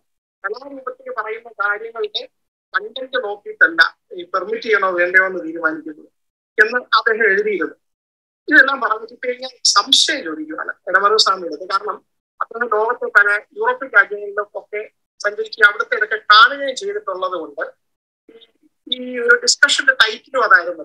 അപ്പൊ കലാരൂപങ്ങൾ രാഷ്ട്രീയം പറയുമ്പോൾ കലാരൂപത്തിൽ കൂടെ ഹാർംഫുൾ ആയിട്ടുള്ള ഏതെങ്കിലും ഒരു ഐഡിയോളജി ചെയ്യുന്ന അതായത് ഉദാഹരണത്തിന് ഇപ്പം ഈ ചില വംശീയ വിദ്വേഷം പലർത്തുന്ന പടർത്തുന്ന ഏതെങ്കിലും ഒരു സംഘടനയാണ് അല്ലെങ്കിൽ ഏതെങ്കിലും ഫാസിസത്തിനെ സപ്പോർട്ട് ചെയ്യുന്ന സംഘടനയാണ് അങ്ങനെ എന്തെങ്കിലും ഉണ്ട്. അതിനകത്ത് ഒരു ആർട്ട് ഫോമിൽ കൂടെ അതിനെ സപ്പോർട്ട് ചെയ്യുന്ന രീതിയിൽ ഏതെങ്കിലും ഒരു സിനിമ അല്ലെങ്കിൽ അവർ ഏതെങ്കിലും ഒരു കലാരൂപം കൊണ്ടുവന്നിട്ട് അതിനെതിരായിട്ട് ഏതെങ്കിലും ഡെമോക്രാറ്റിക് രാജ്യങ്ങൾ ഫ്രാൻസോ അല്ലെങ്കിൽ അമേരിക്ക ഏതെങ്കിലും യൂറോപ്യൻ രാജ്യങ്ങളിൽ അതുപോലെ ലോകത്ത് അറിയപ്പെടുന്ന അല്ലെങ്കിൽ ആ രാജ്യത്തിന്റെ വിഷയമായിട്ടുള്ള ഏതെങ്കിലും ഒരു അതിലേക്ക് ബാധിക്കുന്നോ അല്ലെങ്കിൽ അത് അത് പബ്ലിക് ഡിബേറ്റ് വന്നിട്ട് അതിനെ കണ്ടം ചെയ്യുന്ന രീതിയിലോ ഏതെങ്കിലും പോയിട്ടുണ്ടോ എന്നറിയാൻ ആഗ്രഹമുണ്ട്. പ്രാക്ടിക്കൽ ആയിട്ടുള്ള കാര്യമാണ്. നിയമത്തിൽ ഇങ്ങനെയൊക്കെ പറയുമ്പോഴും ഒരു ഗവൺമെന്റിന് ഹാൻഡിൽ ചെയ്യാൻ പറ്റാത്ത രീതിയിൽ അല്ലെങ്കിൽ വംശീയ വിദ്വേഷം വളർത്തും എന്നുള്ള രീതിയിൽ ഏതെങ്കിലും സിനിമകൾ വന്നിട്ട് അതിൽ കൂടെ വരുന്നത് ഡേഞ്ചറസ് ആണ്. ആ പ്രൊപ്പകാണ്ടങ്ങൾ ഏതെങ്കിലും നിയമത്തിന്റെ കീഴിൽ അസ്വീകാര്യമാണെന്ന് പറയുന്നത്. പറയുന്ന ഏതെങ്കിലും ഡെമോക്രസി ഫോളോ പ്രാക്ടീസ് ചെയ്യുന്ന രാജ്യങ്ങളിനകത്തെ ഇൻസിഡന്റ് അദ്ദേഹത്തിന്റെ അറിവിലുണ്ടെങ്കിൽ അല്ലെങ്കിൽ ഓർമ്മയിൽ പെട്ടെന്ന് വരുന്നുണ്ടെങ്കിൽ ഒന്ന് ഷെയർ ചെയ്തിട്ടുണ്ടായിരുന്നു പ്രശാന്ത് ആദ്യം നന്ദി. മീറ്റിംഗിൽ വന്നതിലും അഭിപ്രായം വളരെ ഭംഗിയായിട്ട് പ്രസന്റ് ചെയ്തതിലും. ഒന്ന് പ്രശാന്ത് പറഞ്ഞപ്പോൾ എനിക്ക് പെട്ടെന്ന് ഓർമ്മ വന്നൊരു സാധനം ഹിറ്ററുടെ മീൻ കാഫ് ഉദാഹരണത്തിന്. അത് ഒരു ഒരു സാഹിത്യകൃതിയല്ല അദ്ദേഹത്തിന്റെ ആത്മകഥയാണ്. അതിനകത്ത് വളരെ കൃത്യമായി തന്നെ ഒരു ഒരു ജ്യൂസിനോടുള്ള ഒരു പ്രിജുഡീഷ്യൽ ആയിട്ടുള്ള ഒരു സെറ്റിംഗ് ഇപ്പം അതിനകത്തുണ്ട്. പക്ഷേ അത് ആ പുസ്തകം അതുകൊണ്ട് നിരോധിക്കാമോ? കാരണം അതുമൂലം ഉണ്ടായ ഹിറ്റ് അവിടെ ജർമ്മനിയിൽ ഉണ്ടായിട്ടുള്ള വലിയ ഹോളോകോസ്റ്റ് മറ്റും ഇതിന്റെ ഒരു പരിണിത ഫലമാണ് എന്ന് കരുതുന്ന ആൾക്കാരുണ്ട്. അങ്ങനെയല്ല എന്നുള്ളതാണ് യാഥാർത്ഥ്യം. അത് അതിനകത്ത് ഒരു നിമിത്തം മാത്രമാണ് അത്ര ഒട്ടനവധി പുസ്തകങ്ങളുണ്ട്. അതുകൊണ്ട് നിരോധിക്കുകയല്ല വേണ്ട. ആ പുസ്തകം നിരോധിക്കാതെ തന്നെ അതിനകത്ത് പറയുന്ന ആശയങ്ങൾക്കെതിരായിട്ടുള്ള അഭിപ്രായ രൂപീകരണമാണ് വേണ്ടത് എന്നാണ് പൊതുവെ ഇക്കാര്യത്തിൽ ആവിഷ്കാര സ്വാതന്ത്ര്യത്തിന്റെ വക്താക്കൾ പറഞ്ഞിട്ടുള്ളത്. പക്ഷേ യൂറോപ്പിലെ പല രാജ്യങ്ങളിൽ മെയിൻകാഫ് നിരോധിച്ചിട്ടുണ്ട് ജർമ്മനിയിൽ ഉൾപ്പെടെ. ഇന്ത്യയിൽ അത് നിരോധിച്ചിട്ടില്ല. ഇന്ത്യയിൽ വികാസ് പബ്ലിഷിംഗ് ഹൗസ് അത് പ്രസിദ്ധീകരിച്ചിട്ടുണ്ട്. എന്റെ അഭിപ്രായം ഈ ഹിറ്റ്ലറുടെ ആത്മകഥ പോലും നിരോധിക്കരുത് എന്നാണ് എന്റെ അഭിപ്രായ കാര്യത്തിൽ കാരണം ആ പുസ്തകമല്ല അവിടെ കുഴപ്പമുണ്ടാക്കിയത്. ഇതൊരു പൊളിറ്റിക്കൽ പ്രോസസ്സാണ് പൊളിറ്റിക്കൽ പ്രോസസ്സിനെയാണ് അഡ്രസ് ചെയ്യേണ്ടത്. ആ പുസ്തകം അവിടെ നിരോധിച്ചാൽ പോലും അതിൽ പറയുന്ന ആശയങ്ങൾ പറഞ്ഞുകൊണ്ട് വേറെ ആൾക്കാർക്ക് രംഗത്ത് വരാം. നിരോധനം വഴിയാകുന്നില്ല എന്ന് എനിക്ക് തോന്നുന്നത്. അതുപോലെ തന്നെ പൊളിറ്റിക്കൽ ഒപ്പീനിയൻസ് പറയുന്ന ഒരുപാട് സംഗതികൾ വന്നിട്ടുണ്ട്. ഉദാഹരണത്തിന് ഇപ്പൊ മലയാളത്തിൽ തന്നെ പി എം ആന്റണി തന്നെ പരിഭാഷപ്പെടുത്തിയ ഹോക്കുത്തിന്റെ ഒരു പ്രസിദ്ധമായ നാടകമുണ്ട്. മലയാളത്തിൽ അത് ദി ഹോളി സിൻസ് എന്നാണ് അതിന്റെ ഇംഗ്ലീഷ് പരിഭാഷയുടെ പേര്. വിശുദ്ധ പാപങ്ങൾ എന്ന് പറയുന്ന ഒരു സാധനം. അത് ആ കാലഘട്ടത്തിലെ ഒട്ടേറെ രാജ്യങ്ങൾ കമ്മ്യൂണിസ്റ്റ് രാജ്യങ്ങളൊക്കെ നിരോധിച്ചിട്ടുള്ള ഒരു പുസ്തകമാണ്. അതായത് രണ്ടാം ലോക മഹായുദ്ധ കാലത്ത് ഹിറ്റ്ലറും സ്റ്റാലിനും മുസോളിനിയും തമ്മിൽ ഉണ്ടായിരുന്ന അവിശുദ്ധ കൂട്ടുകെട്ടിന്റെ ഒന്നാം ഭാഗത്ത് നടന്ന അവിശുദ്ധമായ കൂട്ടുകെട്ടിനെ കുറിച്ചുള്ള ഒരു പുസ്തകമാണത്. ഒട്ടേറെ രാജ്യങ്ങൾ നിരോധിച്ചിരുന്ന ഒരു പുസ്തകമാണത്. പക്ഷെ ഇന്ന് അത് സംബന്ധിച്ച തെളിവുകൾ തന്നെ അടുത്ത കാലത്ത് എങ്ങനെയാണ് മുസോളിനിയും അവിടെ ഉണ്ടായിരുന്ന മാർപ്പാപ്പയും ഒക്കെ തമ്മിൽ ബന്ധമുണ്ടാക്കിയതിന് ഡോക്യുമെന്റേഷൻ ഒക്കെ തന്നെ അടുത്ത കാലത്ത് വരികയും അത് നാഷണൽ പബ്ലിക് റേഡിയോ അമേരിക്കയിൽ അത് പ്രക്ഷേപണം ചെയ്യുകയൊക്കെ ചെയ്തിട്ടുണ്ട്. പക്ഷെ അത് അത് നിരോധിക്കപ്പെട്ടിട്ടുണ്ടായിരുന്നു ഒരു സമയത്ത്. പക്ഷെ അത് ഒരു ഒരു നെഗറ്റീവ് എന്നുള്ള അവരുടെ ആശയങ്ങൾക്ക് സ്വീകാര്യമല്ല എന്നുള്ളത് കൊണ്ടാണ്. അത് അതല്ലാതെ രാഷ്ട്രീയ മാറ്റങ്ങളെ സ്വാധീനിക്കും എന്ന് ഭയന്ന് നിരോധിച്ചിട്ടുള്ള പുസ്തകങ്ങളെ കുറിച്ച് എനിക്കറിയില്ല. എന്റെ ശ്രദ്ധയിൽ അങ്ങനെയൊന്നും വന്നിട്ടില്ല. ഹിറ്റ്ലറുടെ മെയിൻ കാഫ് ചില രാജ്യങ്ങൾ നിരോധിച്ചിട്ടുണ്ട്. അത് നിരോധിക്കുന്നത് തെറ്റാണ് എന്ന് പറയുന്ന അഭിപ്രായമുണ്ട്. മറ്റൊരു ഉദാഹരണം കൂടി പറയാം. ഉദാഹരണത്തിന് ഇസ്ലാമിക തീവ്രവാദത്തെ ന്യായീകരിക്കുന്ന ചില പ്രഭാഷകരുണ്ട് യൂറോപ്പിൽ. അപ്പൊ വളരെ വളരെ ആർട്ടിക്കുലേറ്റ് ചെയ്ത് ഇസ്ലാമിക രാഷ്ട്രം ഉണ്ടാകണം യൂറോപ്പിൽ ഇസ്ലാമിക പോക്കറ്റുകൾ ഉണ്ടാകണം എന്നൊക്കെ പറയുന്ന ചില ആർട്ടിക്കുലേറ്റഡ് സ്പീക്കേഴ്സ് ഉണ്ട്. അങ്ങനെയുള്ള ആൾക്കാരൊക്കെ സ്കാൻഡിനേവിയയിൽ വന്ന് പ്രസംഗിക്കാൻ വന്ന സമയത്ത് ഇവിടെ വലിയ വിവാദമായിരുന്നു. അവർ വംശീയ വിദ്വേഷം ആണ് വരു പറയുന്നത്. കാരണം അത് യൂറോപ്പിലുള്ള ജനങ്ങൾക്കെതിരായിട്ട് ഒരു അവരെ ഒരു റേസ് ആയിട്ട് കണ്ടുകൊണ്ട് അവരെ അവർക്കെതിരായിട്ടാണ് വരുന്നത്. ഇതൊരു വലിയ ഡിവിഷൻ ഉണ്ടാക്കുന്ന നിലപാടാണ് ഇവർ പറയുന്നത്. അതുകൊണ്ട് പ്രസംഗം അനുവദിക്കരുത് എന്നുള്ള വാദമുഖം വന്നിരുന്നു. ഇവിടെ ഫിൻലൻഡിൽ അങ്ങനെ വന്ന സമയത്ത് ഫിനിഷ് ഗവൺമെന്റ് എടുത്ത നിലപാട് ഇത് ആവിഷ്കാര സ്വാതന്ത്ര്യത്തിന്റെ ലോക തലസ്ഥാനമാണ്. ഇവിടെ നമുക്ക് നിരോധിക്കാൻ പറ്റിയല്ല. നിങ്ങൾക്ക് ഇഷ്ടമുണ്ട് കേട്ടാൽ മതി. കേട്ടുകൊണ്ട് നിങ്ങൾ സ്വീകരിക്കണമെന്നില്ല. അവർക്ക് പറയാനുള്ളത് പറയാൻ ഇവിടെ സ്വാതന്ത്ര്യമുണ്ട്. വയലൻസ് അഡ്വക്കേറ്റ് ചെയ്യുന്നില്ലെങ്കിൽ ഹി ക്യാൻ സ്പീക്ക് ഇപ്പൊ ഇവിടെ വന്നത് സംസാരിക്കാൻ അനുമതി കൊടുത്തു. പത്രങ്ങൾ അത് റിപ്പോർട്ടും ചെയ്തു. പക്ഷെ അതിന്റെ ഒന്നും പിന്നിൽ ആൾക്കാരൊന്നും അണിനിരുന്നില്ല. സ്വാതന്ത്ര്യം കൊടുത്തത് കൊണ്ടാണ് അതിനെ സപ്രസ് ചെയ്യാൻ ശ്രമിക്കുകയാണ് എന്ന ആക്ഷേപം പോലും ഉന്നയിക്കാൻ പറ്റാതെ വന്നത് എന്നാണ് എനിക്ക് തോന്നുന്നത്.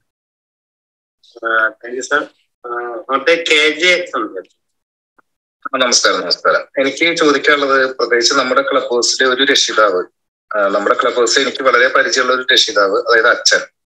തന്റെ മകൻ യു പിയിലാണ് പഠിക്കുന്നത്. അപ്പോ അതിനെ കുറിച്ച് വളരെ ആശങ്കാജനകമായിട്ടുള്ള രീതിയിൽ ഒരു ദിവസം സംസാരിക്കും. അത് ശരിക്ക് ശരിക്കും എനിക്കൊക്കെ ഭയങ്കരമായിട്ട് ഫീൽ ചെയ്തു. കാരണം ഇനി ഭാവിയിൽ കയറി പാർട്ടി കാശ് ചോദിച്ചാൽ അത് പോലും നമുക്ക് ചോദിക്കാൻ പറ്റാത്തൊരു സ്ഥിതി വിശേഷം. അപ്പൊ എന്റെ ചോദ്യത്തിന്റെ അതായത് നമ്മുടെ മലയാളികൾ പലരും ഇന്ത്യയിലെ മാനത്തെ സംസ്ഥാനങ്ങളിൽ ജോലിക്ക് പോകും ഇവരുടെ അവസ്ഥയെ കുറിച്ച് സാറിനെ നോക്കൂ നമ്മൾ ഇന്ത്യ മാത്രമല്ല ഏത് രാജ്യത്ത് എവിടെയും പോയി ആൾക്കാർക്കൊക്കെ ജോലി ചെയ്യാൻ പറ്റണം എന്നല്ലേ നമ്മൾ ചിന്തിക്കേണ്ടത്. കാരണം നമ്മൾ ഇന്ത്യക്കാരെ പ്രത്യേകിച്ച് മലയാളികൾ ലോകത്തിന്റെ എല്ലാ ഭാഗത്തും പോയി ജോലി ചെയ്യുന്ന ആൾക്കാരാണ്. അത് മലയാളികൾ ചെല്ലാത്ത സ്ഥലമില്ല എന്ന മട്ടത്തിനെ നമ്മൾ എല്ലായിടത്തും പോയി ജോലി ചെയ്യുന്ന ആൾക്കാരാണ്.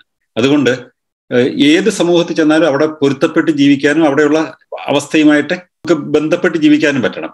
അവിടെയുള്ള കാര്യങ്ങളോട് വിയോജിപ്പ് തോന്നിയാൽ നമുക്ക് പറയാൻ നമുക്കുള്ള സ്വാതന്ത്ര്യം ഉണ്ടാകണം എന്നല്ലാതെ നമ്മൾ ഒരു ഹേറ്റഡ് ആർക്കെതിരായിട്ട് ഉണ്ടാക്കിയിട്ട് കാര്യമില്ല. അല്ലെ? അങ്ങനെ ഹേറ്റഡ് ഉണ്ടാക്കി നമുക്ക് എവിടെയും ജീവിക്കാൻ പറ്റില്ല. ഒരു ജനതയ്ക്കെതിരായിട്ടോ അല്ലെങ്കിൽ ഒരു രാജ്യത്തിനെതിരായിട്ടോ അല്ലെങ്കിൽ വിശ്വാസത്തിനെതിരായിട്ടോ പോലും ഹേറ്റഡ് അല്ല നമ്മൾ ഉണ്ടാക്കേണ്ടത്. ഇപ്പൊ ഞാൻ ഞാൻ ഒരു നാസ്തികനാണ്. അതുകൊണ്ട് അവിശ്വാസികളോട് എനിക്ക് ഹേറ്റഡ് ഉണ്ടാകാൻ പറ്റുമോ?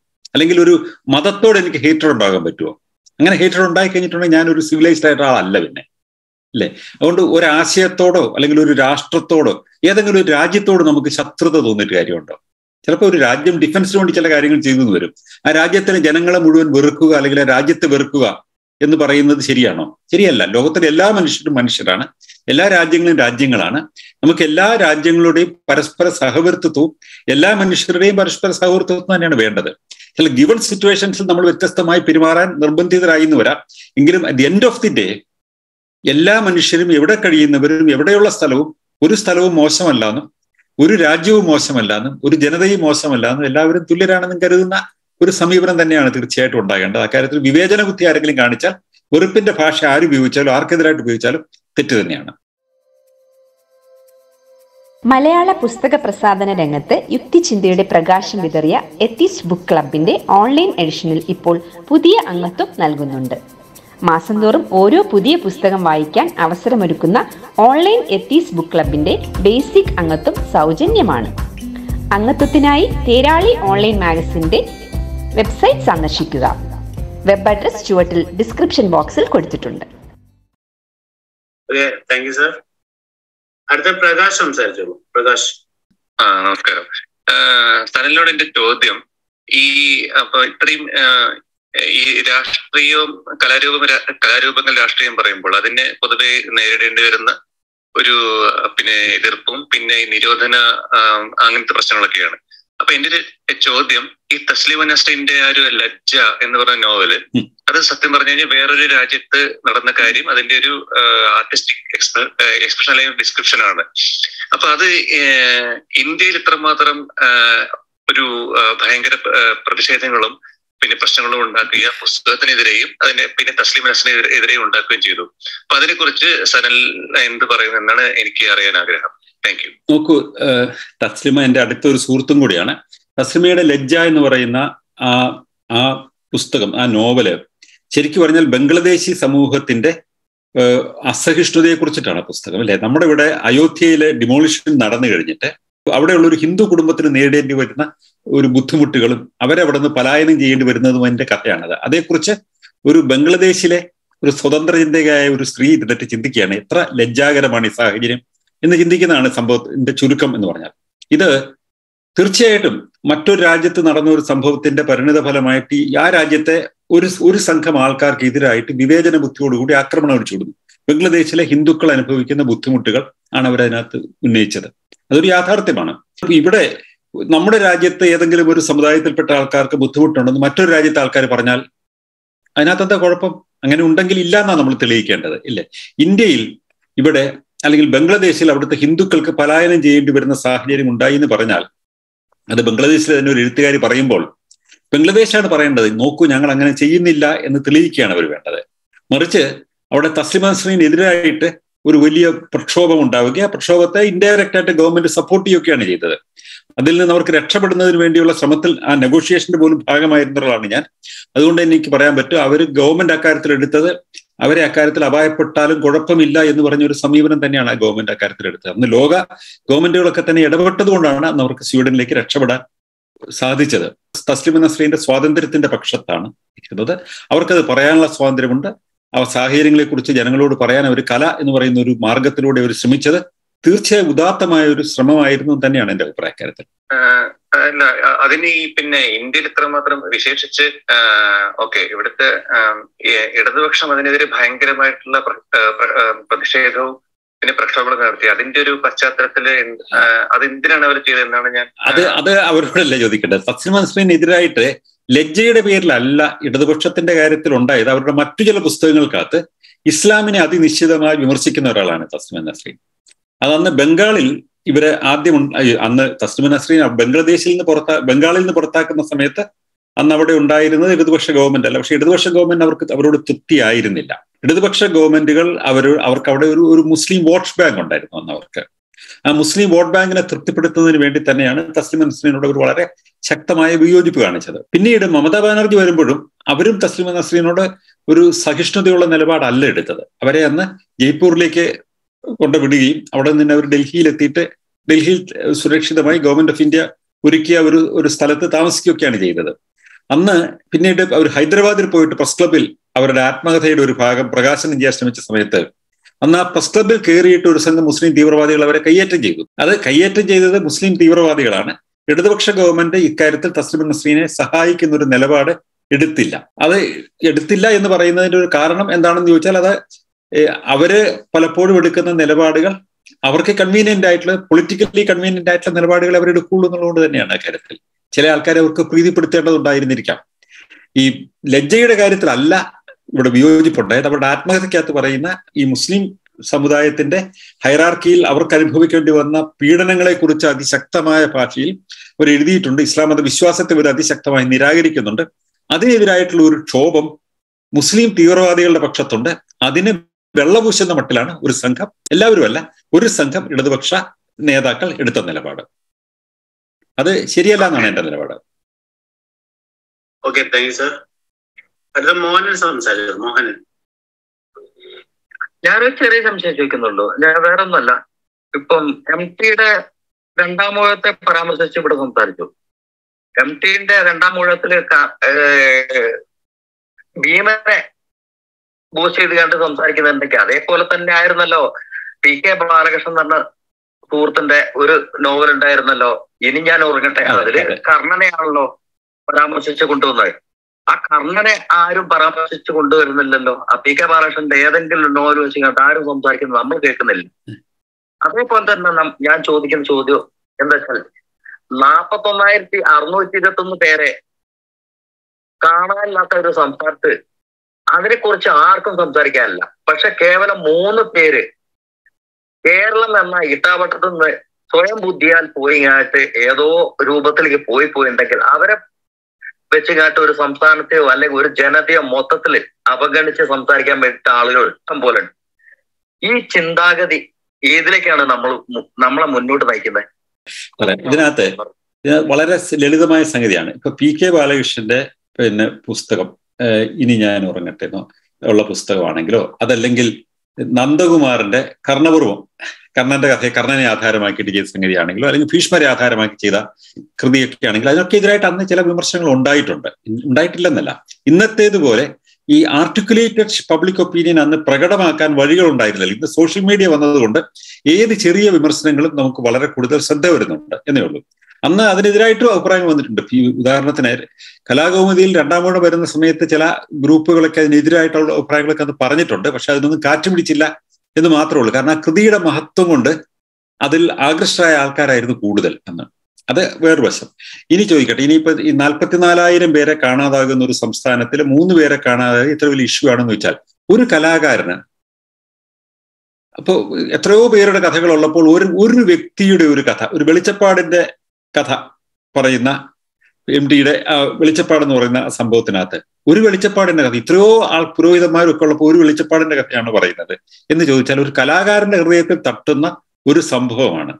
അതാണ് അയാൾ പൊലിപ്പിച്ചു കൊണ്ടിരുന്നത്. ഒരു സാഹിത്യകൃതി എഴുതുന്ന ആളോ കവിത എഴുതുന്ന ആളോ അല്ലെങ്കിൽ സിനിമ നിർമ്മിക്കുന്ന ആളോ അയാൾക്ക് വളരെ ആർട്ടിക്കുലേറ്റഡ് ആയിട്ട് അയാളുടെ ഉള്ളിൽ തട്ടുന്ന ഒരു സംഗതി അല്ലെങ്കിൽ ഗൗരവമായിട്ട് തോന്നുന്ന ഒരു സംഗതി അത് പൊലിപ്പിച്ച് മുന്നോട്ട് കൊണ്ടുവന്നു വരാം.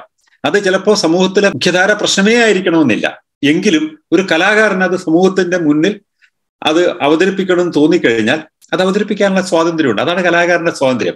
ഈ സമൂഹത്തിൽ ഏറ്റവും പ്രധാനപ്പെട്ട വിഷയമാണോ കലാകാരൻ സംസാരിക്കണമെന്ന് ചോദിച്ചു കഴിഞ്ഞാൽ തിരിച്ചൊരു തമാശയുള്ള ചോദ്യം പലപ്പോഴും പല ആൾക്കാരും പറയാറുണ്ട്. ഇപ്പൊ കേരളത്തിൽ പോർച്ചുഗീസുകാർ വരുന്ന കാലഘട്ടത്തിൽ അന്ന് കേരളത്തിൽ കേരള രാഷ്ട്രീയത്തിലെ ഏറ്റവും പ്രധാനപ്പെട്ട ഇഷ്യൂ പോർച്ചുഗീസുകാരുടെ അധിനിവേശമാണ്. അല്ലേ? എഴുത്തച്ഛൻ അന്ന് രാമായ അദ്ദേഹത്തിന്റെ കിളിപ്പാട്ട് രാമായണം അധ്യാത്മ രാമായണം എഴുതുന്ന അതേ സമയത്താണ്. അദ്ദേഹം ഈ പോർച്ചുഗീസ് അധീശത്വം എന്ന് പറയുന്ന ഒരു വലിയ പ്രശ്നത്തിനെതിരായിട്ട് യാതൊന്നും എഴുതിയിട്ടില്ല. അങ്ങനെ എഴുത്തച്ഛനത് എഴുതാമായിരുന്നു. അദ്ദേഹം അന്ന് കേരളത്തെ അലട്ടിയിരുന്ന ഏറ്റവും പ്രധാന പ്രശ്നമായ പോർച്ചുഗീസ് അധീശത്വത്തിനെതിരായിട്ടായിരുന്നില്ല എഴുതേണ്ടത് എന്ന് ചോദിച്ചാൽ അർത്ഥമുണ്ടോ? എഴുത്തച്ഛന് തോന്നിയത് ഇത് എഴുതാനാണ്. ആ സ്വാതന്ത്ര്യ എഴുത്തച്ഛനുണ്ട്.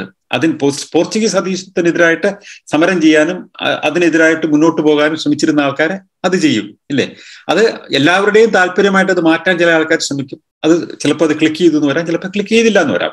ഈ നാൽപ്പത്തിനാലായിരം പോയ പേര് നമുക്ക് കേരളത്തിൽ കാണാതായിട്ടുണ്ടെങ്കിൽ അതൊരു അതിന്റെ കാരണം എന്താണ്? ഒരു ഒരു ഒരു പ്രധാനപ്പെട്ട കാരണമാണോ? അതൊരു കലാരൂപത്തിലേക്ക് സന്നിവേശിപ്പിക്കാവുന്ന വിഷയമാണെങ്കിൽ താങ്കൾക്ക് തീർച്ചയായിട്ടും ഒരു കൃതി എഴുതാതെ കുറിച്ചിട്ട്.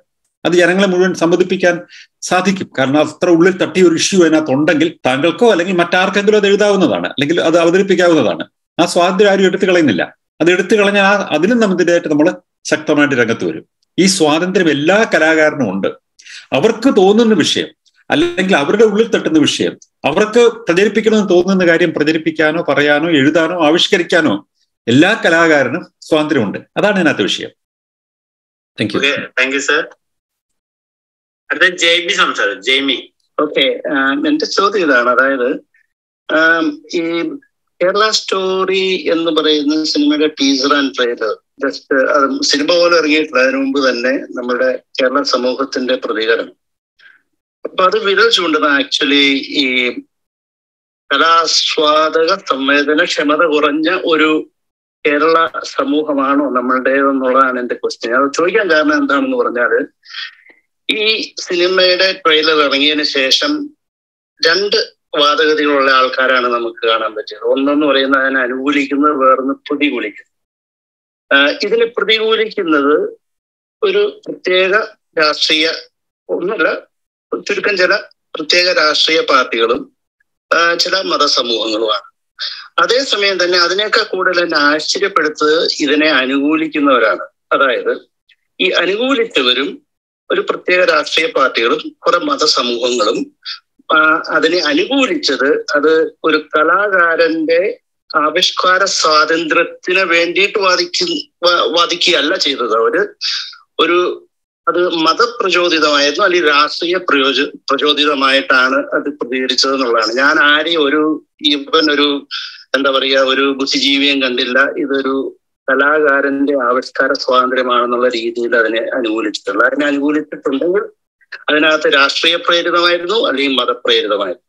അപ്പൊ ഞാനിരുന്ന് ചിന്തിക്കുന്നത് ആ, നമുക്ക് ആ ഒരു എന്താ പറയാ ഒരു ഈ കലയോടും സാഹിത്യത്തോടുള്ള നമ്മളുടെ ആ ഒരു പ്രതിബദ്ധത അത്രമാത്രം ഉണ്ടോ എന്നുള്ളതാണ്. കാരണം ഇപ്പൊ നോക്കിക്കഴിഞ്ഞാൽ ഒരു പതിനഞ്ചാം നൂറ്റാണ്ടിലെ മൈക്കിൾ ആഞ്ചലയുടെ അത് ക്രിയേഷൻ ഓഫ് ആഡം അതൊരു ആരാധനാലയത്തിന്റെ ഉള്ളിൽ വരച്ചു വെച്ചപ്പോൾ അത്രയും കൺസർവേറ്റീവ് ആയിട്ടുള്ള ഒരു സൊസൈറ്റി ഉണ്ടായിരുന്ന ഒരു സമൂഹത്തിൽ പോലും അതിനെ ആം, തച്ചുടയ്ക്കാൻ ശ്രമിക്കാത്തത് കൊണ്ടാണ് ഇന്നും നമുക്ക് ആ കലാരൂപം. അതും പൂർണ നഗ്നമായിട്ടുള്ള ഒരു കലാരൂപം ഒരു ആരാധനാലയത്തിന്റെ ഉള്ളിലുള്ള അതിനെ ഉൾക്കൊള്ളാൻ പറ്റിയ ഒരു സമൂഹം അവിടെ ഉണ്ടായിരുന്നിട്ട് ഏതാ അഞ്ചു നൂറ്റാണ്ടുകൾക്ക് മുമ്പ് ഇന്ന് നമ്മുടെ കേരള സമൂഹത്തിൽ ഇതുപോലുള്ള ഒരു എന്താ പറയാ ആസ്വാ എന്താ പറയാ ഒരു ക്രിയേറ്റിവിറ്റിയെ ഉൾക്കൊള്ളാനുള്ള ഒരു എന്താ പറയാ ഒരു മാനസികമായിട്ടുള്ള ഒരു പൂർണത വന്നിട്ടുണ്ടോ എന്നുള്ളതാണ് എന്റെ ചോദ്യം.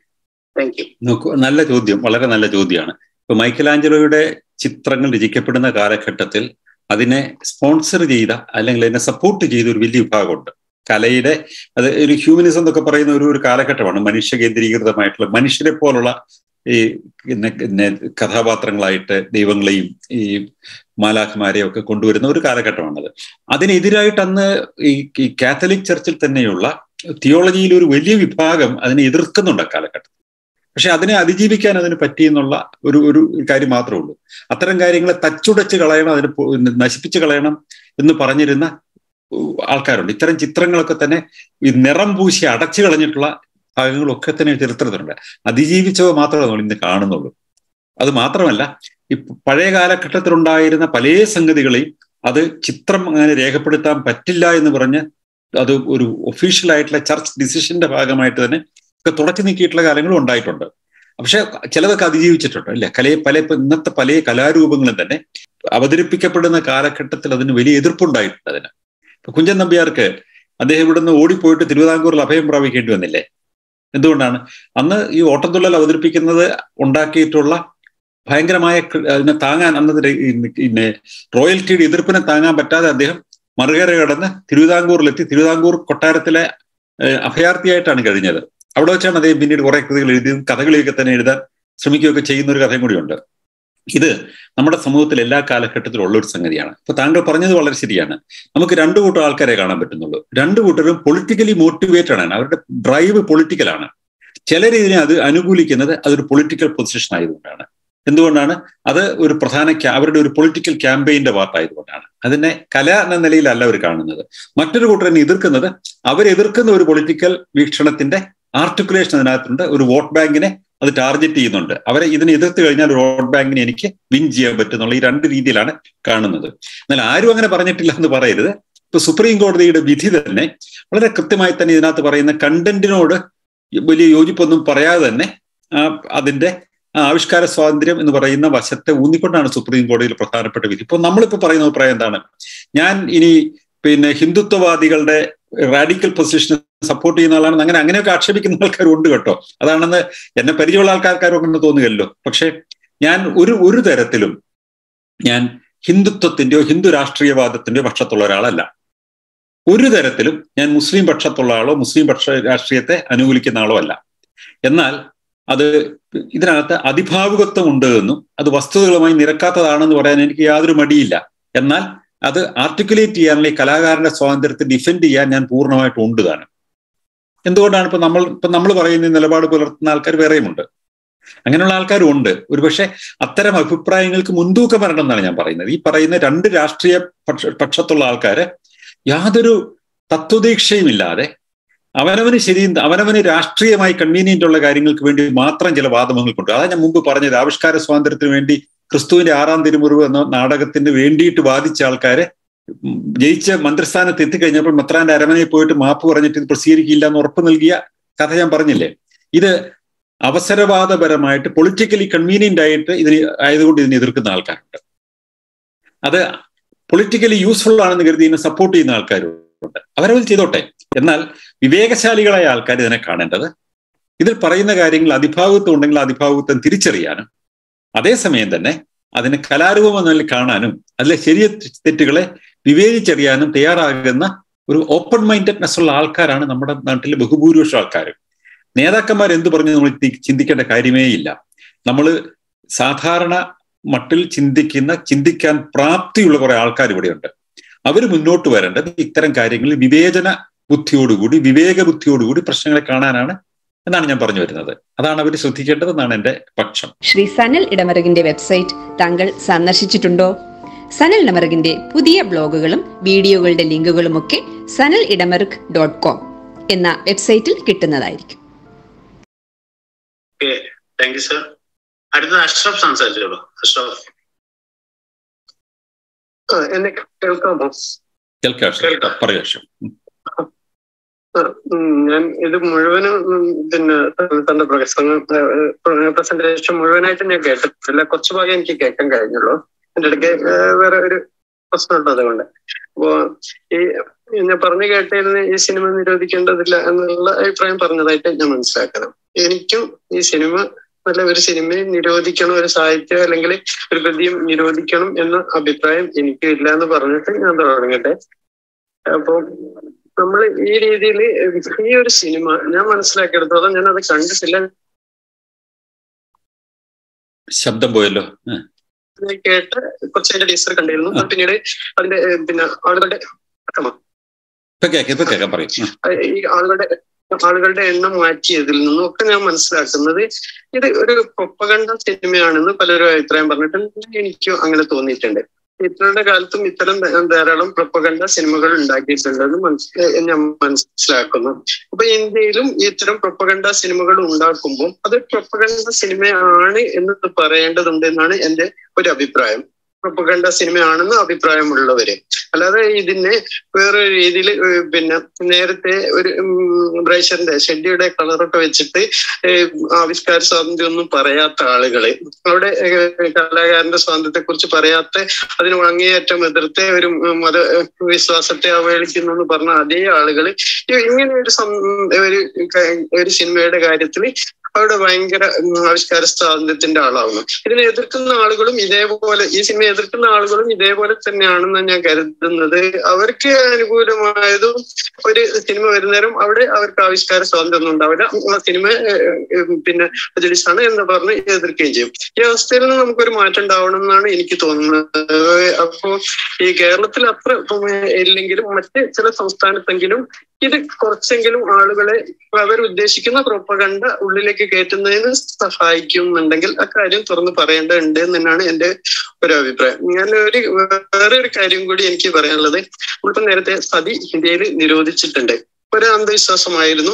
അപ്പോ അന്ധവിശ്വാസത്തിനും അവർക്ക് അങ്ങനെ തന്നെ തുടരാൻ സ്വാതന്ത്ര്യം ഉണ്ട് എന്ന് പറയുമ്പോൾ ഇതിനൊരു ചെറിയ ഒരു ലിമിറ്റ് വെക്കേണ്ടതില്ലേ? അപ്പൊ അന്ന് അന്ന് ഈ സതി നിരോധിച്ചിട്ടില്ലായിരുന്നെങ്കിൽ അത് തുടർന്ന് കുറച്ച് ആളുകളെങ്കിലും ഇപ്പോഴും ഉണ്ടാവുമായിരുന്നു എന്ന് ഉറച്ച് വിശ്വസിക്കുന്ന ഒരാളാണ് ഞാൻ അപ്പൊ ഇതിന് ഒരു ഇത് രണ്ടും താരതമ്യപ്പെടുത്തുകയല്ല ഇതിനും ഒരു എല്ലാത്തിനും ഒരാൾക്ക് സ്വാതന്ത്ര്യം കൊടുത്താൽ ഒരു നിയമവും പുതിയത് നടപ്പിലാക്കാൻ പറ്റാത്ത ഒരവസ്ഥ വരില്ലേ? ഏത് തരം മനുഷ്യന് അങ്ങേയറ്റം ദ്രോഹം ഉണ്ടാക്കുന്ന അന്ധവിശ്വാസങ്ങളും അവർക്ക് ആചരിക്കാനുള്ള സ്വാതന്ത്ര്യം ഉണ്ടാവാമോ എന്നതാണ് എന്റെ ഒരു സംശയം. ഓക്കെ രണ്ട് രണ്ട് കാര്യങ്ങളാണ് പറഞ്ഞത്. ആ രണ്ടാമത് പറഞ്ഞതിനെ കുറിച്ച് ആദ്യം പറയാം അല്ലെ? സതി പോലുള്ള ഇപ്പൊ നമ്മൾ ഈ മനുഷ്യന് ഹാനികരമായ മനുഷ്യന്റെ സ്വാതന്ത്ര്യത്തെ ഹനിക്കുന്ന മറ്റുള്ളവരുടെ സ്വാതന്ത്ര്യത്തെ ഹനിക്കുന്ന അന്ധവിശ്വാസങ്ങൾ നടപ്പിലാക്കാൻ ഉള്ള സ്വാതന്ത്ര്യം ഉണ്ട് എന്നല്ല ഞാൻ പറഞ്ഞത്. അതിനെ ഉദാഹരണത്തിന് സതി എന്ന് പറഞ്ഞാൽ അതിനകത്ത് ഒരു സ്ത്രീയുടെ ജീവൻ അപഹരിക്കുകയാണ് ചെയ്യുന്നത്. ഒരാൾ മരിച്ചു കഴിയുമ്പോൾ മറ്റേ ആൾക്ക് പിന്നെ ഇണക്കി ജീവിക്കാൻ അവകാശമില്ല എന്ന നിലയിൽ അവർ അതിനകത്ത് ജീവൻ ആഹൂതി ചെയ്യണം എന്ന് പറയുന്നതിനെ ഗ്ലോറിഫൈ ചെയ്യുകയും അവരെ മരണത്തിലേക്ക് തള്ളിവിടുകയും ചെയ്യുന്ന ഒരു സംഗതിയാണ് അവിടെ നടക്കുന്നത്. അത് നരബലി. നരബലിയിലെ ആൾക്കാർ വിശ്വസിക്കുന്നത് നരബലി ചെയ്ത ഗുണം ഉണ്ടാകുന്നതാണ് വിശ്വസിക്കുന്നത്. അത് നടപ്പിലാക്കാനുള്ള സ്വാതന്ത്ര്യം ഒരു സമൂഹത്തിലും ഇല്ല അന്ധവിശ്വാസങ്ങൾ അപകടകരമായ അന്ധവിശ്വാസങ്ങൾ നടപ്പിലാക്കാനുള്ള സ്വാതന്ത്ര്യം വേണമെന്നല്ല. ഏതെങ്കിലും ഒരു അന്ധവിശ്വാസം അവർക്ക് സ്വയം ഒരാൾ പ്രായപൂർത്തിയായെത്തിയ ഒരാൾ സ്വന്തം ജീവിതത്തെ മാത്രം ബാധിക്കുന്ന ഏതെങ്കിലും ഒരു അന്ധവിശ്വാസം പുലർത്തുകയും അതനുസരിച്ച് പെരുമാറുകയും ചെയ്താൽ നമുക്കതിനെ നിയമം മൂലം തടയാൻ പറ്റുകയില്ല. തെറ്റാണെന്ന് പറയാനേ പറ്റുള്ളൂ. ഒരാൾ ജ്യോത്സ്യത്തിൽ വിശ്വസിച്ചാൽ ജ്യോത്സ്യം ശുദ്ധ അസംബന്ധമാണ് നമുക്കറിയാം. ആ വിശ്വസിക്കാൻ നിങ്ങൾക്ക് പറ്റുകയില്ല നിങ്ങൾക്ക് അതിന് അധികാരമില്ല എന്ന് പറയാൻ നമുക്ക് അവകാശമില്ല. ഒരാൾക്കൊരു പ്രത്യേക രീതിയിൽ പ്രാർത്ഥിക്കണം തോന്നുകയാണ്. അപ്പൊ അങ്ങനെ പ്രാർത്ഥിക്കാൻ അയാൾക്ക് അവകാശമില്ല. നിങ്ങൾക്ക് ഈ ഒരു രീതിയിൽ പ്രാർത്ഥിക്കാൻ അവകാശമുള്ളൂ എന്ന് മറ്റാൾക്കാരും പറഞ്ഞാൽ അത് പറ്റുകയില്ല. അയാൾക്കൊരു പ്രത്യേക ദൈവത്തിലായിരിക്കും വിശ്വാസം. നിങ്ങൾ ആ ദൈവത്തിൽ വിശ്വസിക്കാൻ പറ്റില്ല മറ്റു ദൈവങ്ങളിൽ വിശ്വസിക്കാൻ പറ്റുള്ളൂ എന്ന് ആരെങ്കിലും പറഞ്ഞാൽ അത് നമുക്ക് അധികാരമില്ല. എന്നാൽ വിശ്വാസത്തിന്റെ പത്ത് പേരെ കൊന്നാലേ എനിക്ക് ഗുണം കിട്ടുള്ളൂ എന്ന് ഒരാൾ കൊല്ലാൻ വന്നു കഴിഞ്ഞാൽ അത് നമ്മുടെ ജീവനെയും മറ്റുള്ളവരുടെ സ്വാതന്ത്ര്യത്തെയും നമ്മുടെ പൊതുജീവിതത്തെയും ബാധിക്കുന്ന കാര്യങ്ങളാണ്. അത് നമുക്ക് സാധ്യമാവില്ല. മറിച്ച് മറ്റുള്ളവരുടെ ജീവനും അവരുടെ സ്വൈര്യതയ്ക്കും അവരുടെ സ്വാതന്ത്ര്യത്തിനും ബാധകമാകാത്ത അന്ധവിശ്വാസം ആരെങ്കിലും പുലർത്തിയാൽ അത് ശുദ്ധ വിഡ്ഢിത്തരമാണെന്ന് നമുക്ക് പറയാം. പക്ഷെ അത് പുലർത്താൻ അവരുടെ സ്വാതന്ത്ര്യം എടുത്തുകളെ നമുക്ക് അവകാശമില്ല. അത് ഇപ്പൊ ഈ ഉടന്തരി ചാട്ടം അല്ലെങ്കിൽ സതി എന്ന് പറയുന്നതോ അല്ലെങ്കിൽ നരഹത്യയോ മൃഗബലി ഉൾപ്പെടെയുള്ള സംഗതികളൊക്കെ തന്നെ തെറ്റാണ് നടപ്പിലാക്കാൻ ഒരു ആധുനിക സമൂഹത്തിന് സാധ്യമാകരുത്. എന്നാൽ ഒരാൾക്ക് ഏത് വിശ്വാസം പുലർത്താനും ഏത് അന്ധവിശ്വാസം പുലർത്താനുമുള്ള സ്വാതന്ത്ര്യമുണ്ട്. അതാണ് അതിനകത്ത് വ്യത്യാസം എന്ന് പറയുന്നത്. രണ്ടാമത്തെ സംഗതി ഈ അത് വളരെ ശരിയായ ഒരു സംഗതി തന്നെയാണ് താങ്കൾ പറഞ്ഞത്. ഉദാഹരണത്തിന് ഈ പറയുന്ന ആൾക്കാർ ഒന്നുകിൽ ഒരു പക്ഷത്താണ് അല്ലെങ്കിൽ മറ്റൊരു പക്ഷത്താണ്. അത് പ്രചരണമാണ് രണ്ടു കൂട്ടരുടെ ലക്ഷ്യം. അവിടെ യാതൊരു തത്വദീക്ഷയോ ഒന്നുമില്ല അതിനകത്ത് അവർക്ക് അവരൊരു പക്ഷത്താണ്. അതുകൊണ്ട് ആ പക്ഷത്തുള്ള നിലപാട് അവർ പറയുന്നു. മറ്റുള്ളവർ വേറൊരു പക്ഷത്താണ്. ആ പക്ഷത്തിന്റെ ആർട്ടിക്കുലേഷന് വേണ്ടി അവർ പറയുന്നു. അപ്പൊ അതിന് പ്രചരണപരമായ സംഗതി ഇപ്പൊ പുഴ മുതൽ പുഴ വരെ അതിനകത്ത് പ്രചരണപരമായ സംഗതി ഇല്ലേ? ഉണ്ട്. പക്ഷെ അത് പ്രൊപ്പഗാൻഡയാണോ? പ്രൊപ്പഗാൻഡ എന്ന് പറഞ്ഞാൽ അതൊരു ഒരു ജർമ്മൻ പദമാണ് ശരിക്കും പറഞ്ഞാൽ. ആ യുദ്ധകാലഘട്ടത്തിൽ അവർ ഉപയോഗിച്ചിരുന്ന പ്രചരണത്തിന് ഒരു ഒരു ഒരു ഒരു പൊതുവായി നമ്മൾ ഇന്ന് പ്രൊപ്പഗാൻഡ എന്നാണ് പറയുന്നത്. അത്തരം അത്തരം ക്യാമ്പയിനുകൾക്ക്.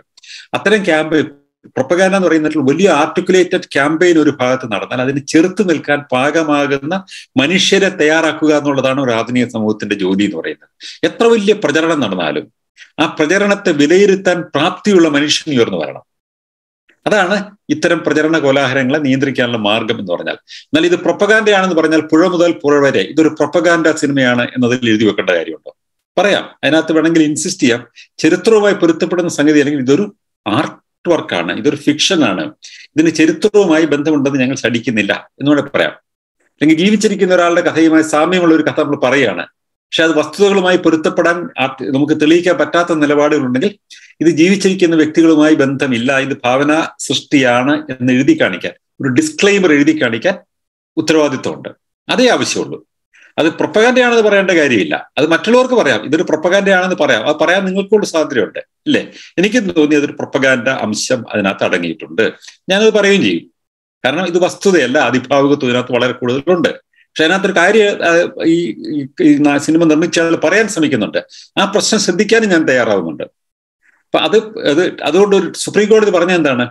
ഇത് ആർട്ട് ഓഫ് ആർട്ട് വർക്കാണ് ഇതൊരു ഫിക്ഷനാണ്. ഇത് വസ്തുതകളുമായി ഇതിന് പൊരുത്തമില്ല. എന്ന് എഴുതി കാണിക്കണമെന്ന് പറഞ്ഞിട്ടുണ്ട് സുപ്രീം കോടതി. ഡിസ്ക്ലൈമർ ആ ഡിസ്ക്ലൈമർ ഉണ്ടാകുന്നതോടുകൂടി ആ പ്രശ്നം തീർന്നു. പ്രൊപ്പഗാൻഡയാണ് അല്ലാണെന്നല്ല പറയേണ്ടത്.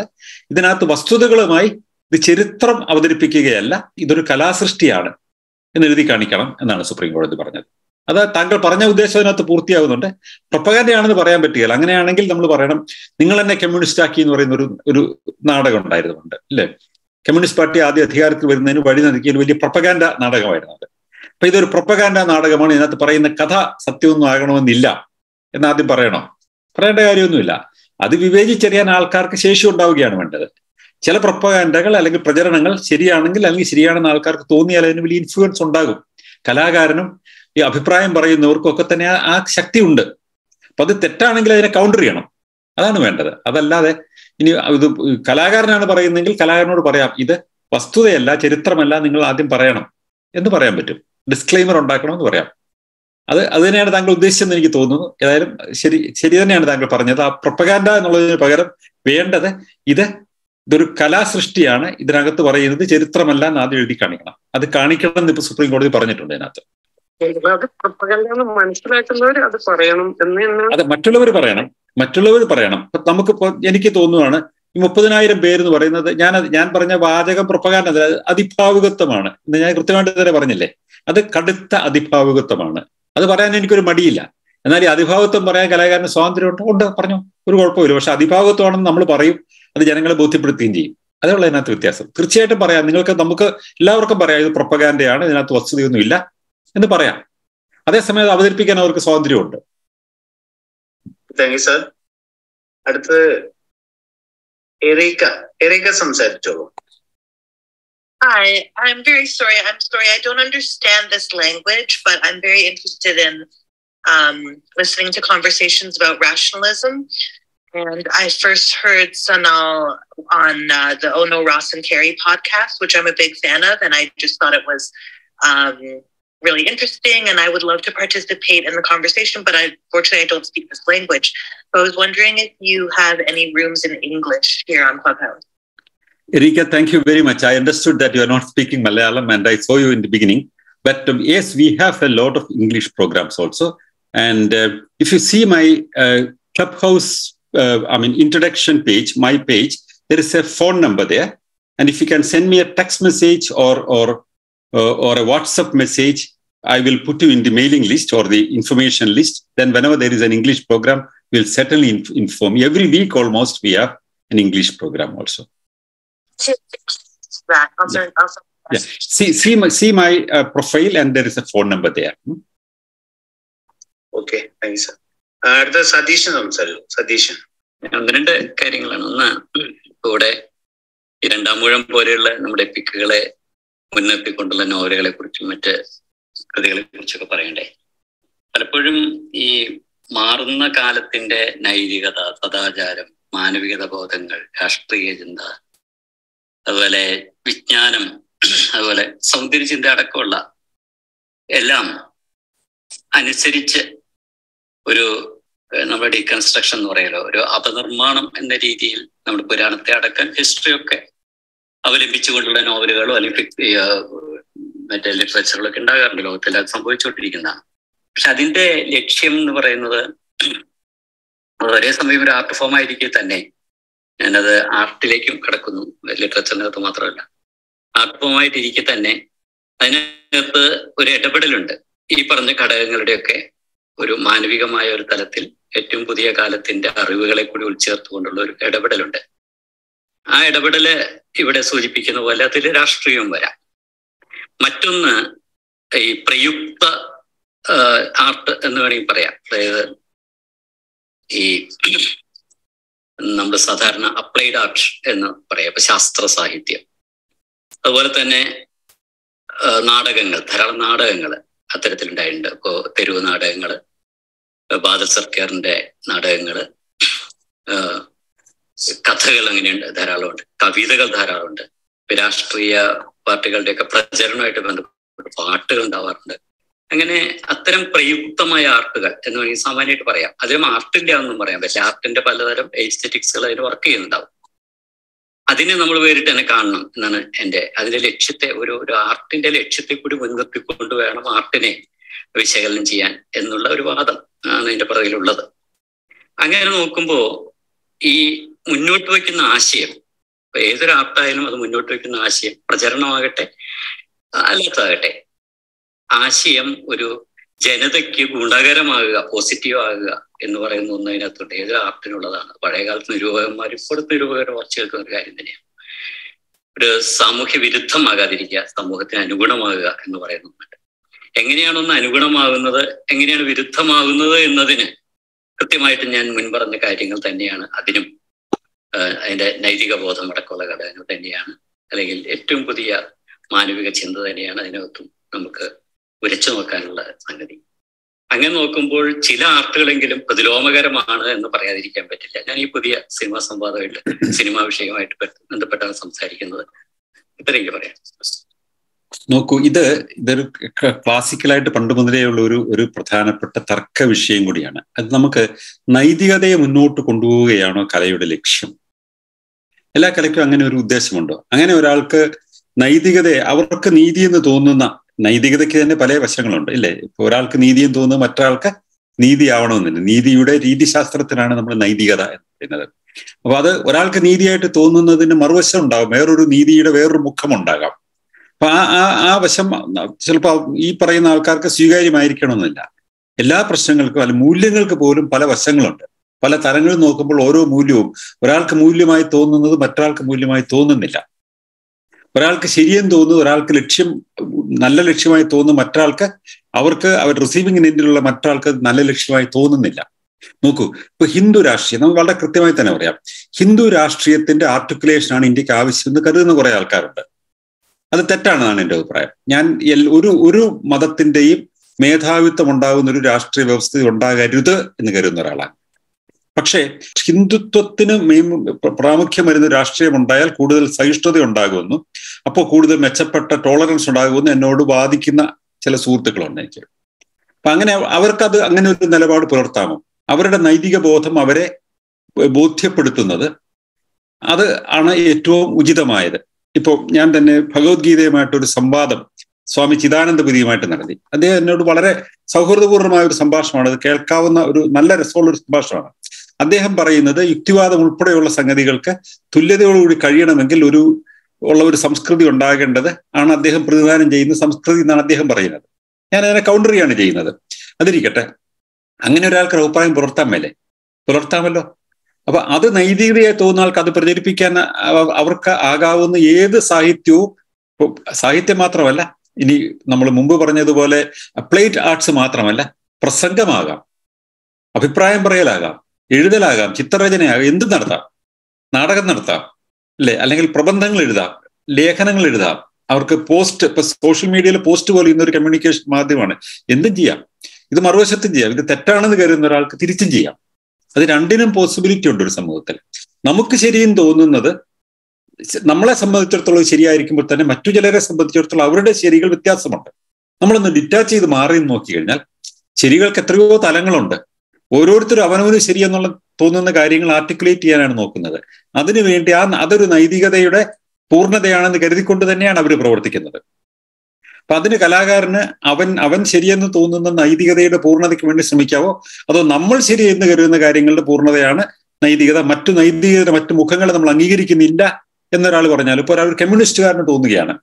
കമ്മ്യൂണിസത്തിന്റെ പൂർണമായ വിജയമാണ് നൈതികതയുടെ ഏറ്റവും പ്രാപ്യമായ ഏറ്റവും വലിയ ലക്ഷ്യം എന്നൊരാൾക്ക് തോന്നുകയാണ്. വേറെ ആൾക്ക് തോന്നുകയാണ് അത് ഏറ്റവും വലിയ സ്വാതന്ത്ര്യ ധ്വംസനമാണ്. അതല്ല കമ്മ്യൂണിസത്തിന്റെ തകർച്ചയും അതിൽ നിന്നുണ്ടാകുന്ന ഒരു പുതിയ ഒരു സ്വാതന്ത്ര്യത്തിന്റെ ലോകവുമാണ് നൈതികതയുടെ ലോകം എന്ന് വേറെ ആൾക്ക് തോന്നാം. ഇല്ലേ? ഇത് രണ്ടും തോന്നുന്നതും രണ്ടുപേർക്ക് തോന്നുന്നത് നൈതികതയുടെ പൂർണതയെക്കുറിച്ചുള്ള അവരുടെ സങ്കല്പങ്ങളുടെ അടിസ്ഥാനത്തിലാണ്. രണ്ടിനും കോഎക്സിസ്റ്റ് ചെയ്യാൻ പറ്റണം. അത് പരസ്പരം മത്സരിക്കാൻ പറ്റണം. രണ്ടിലെയും ശരികൾ സ്വീകരിച്ചുകൊണ്ട് ഒരു പുതിയ നൈതിക ബോധത്തിലേക്ക് ചിലപ്പോൾ നീങ്ങാനും പറ്റിയെന്ന് വരും. ഇതെല്ലാം കോഎക്സിസ്റ്റ് ചെയ്യണം. കോഎക്സിസ്റ്റ് ചെയ്യാൻ പറ്റുകയും വേണം. ഇനി അങ്ങനെ ഒരു കലാകാരന് പറയാമോ? പറയാൻ പറ്റണമല്ലോ?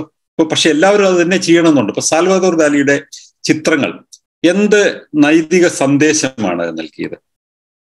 അത് നമ്മൾ ഇന്ന് ഉദ്ദേശിക്കുന്ന നൈതിക സന്ദേശങ്ങളൊന്നും നൽകിയില്ലെങ്കിൽ അതിന് വാല്യൂ ഇല്ലേ?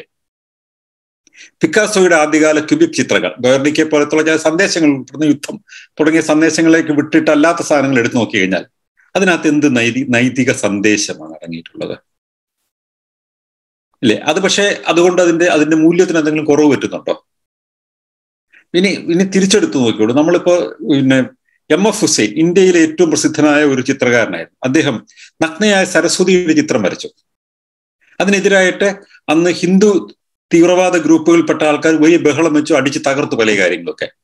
അദ്ദേഹം ആ ചിത്രം വരച്ചപ്പോൾ ഞാൻ കരുതുന്നത് അതിനൊരു നൈതികതയുടെ വലിയൊരു മുന്നേറ്റം ആ ചിത്രത്തിൽ അടങ്ങിയിട്ടുണ്ട്. കാരണം ഈ ദേവിയെ ഒരു ഹ്യൂമൻ ഫേസോടുകൂടി ഹ്യൂമൈനായിട്ട് അതിനെ പ്രസന്റ് ചെയ്യുക എന്ന് പറയുന്നത് പണ്ടുകാലത്ത് ചെയ്തിരുന്നതാണ്. ഏതാണ്ട് മധ്യകാലഘട്ടം കഴിയുന്ന ഒരു കാലഘട്ടത്തിൽ നഗ്നരായ ദേവീദേവന്മാരെയൊക്കെ വരയ്ക്കുകയും അവരെ അവരുടെ ശില്പങ്ങൾ ഉണ്ടാക്കുകയും ചെയ്തിരുന്ന ഒരു കാലം എന്ന് പറയുന്നത് ഈ ഇവരുടെ ഇവരെ കുറിച്ചുള്ള സങ്കല്പങ്ങളെ കൂടുതൽ മനുഷ്യവൽക്കരിക്കുക എന്ന് പറയുന്ന ഒരു പ്രക്രിയയുടെ ഭാഗമായി ഇന്ന് അതിൽ നിന്ന് ആൾക്കാർ പുറകോട്ട് പോയിട്ടുണ്ട്.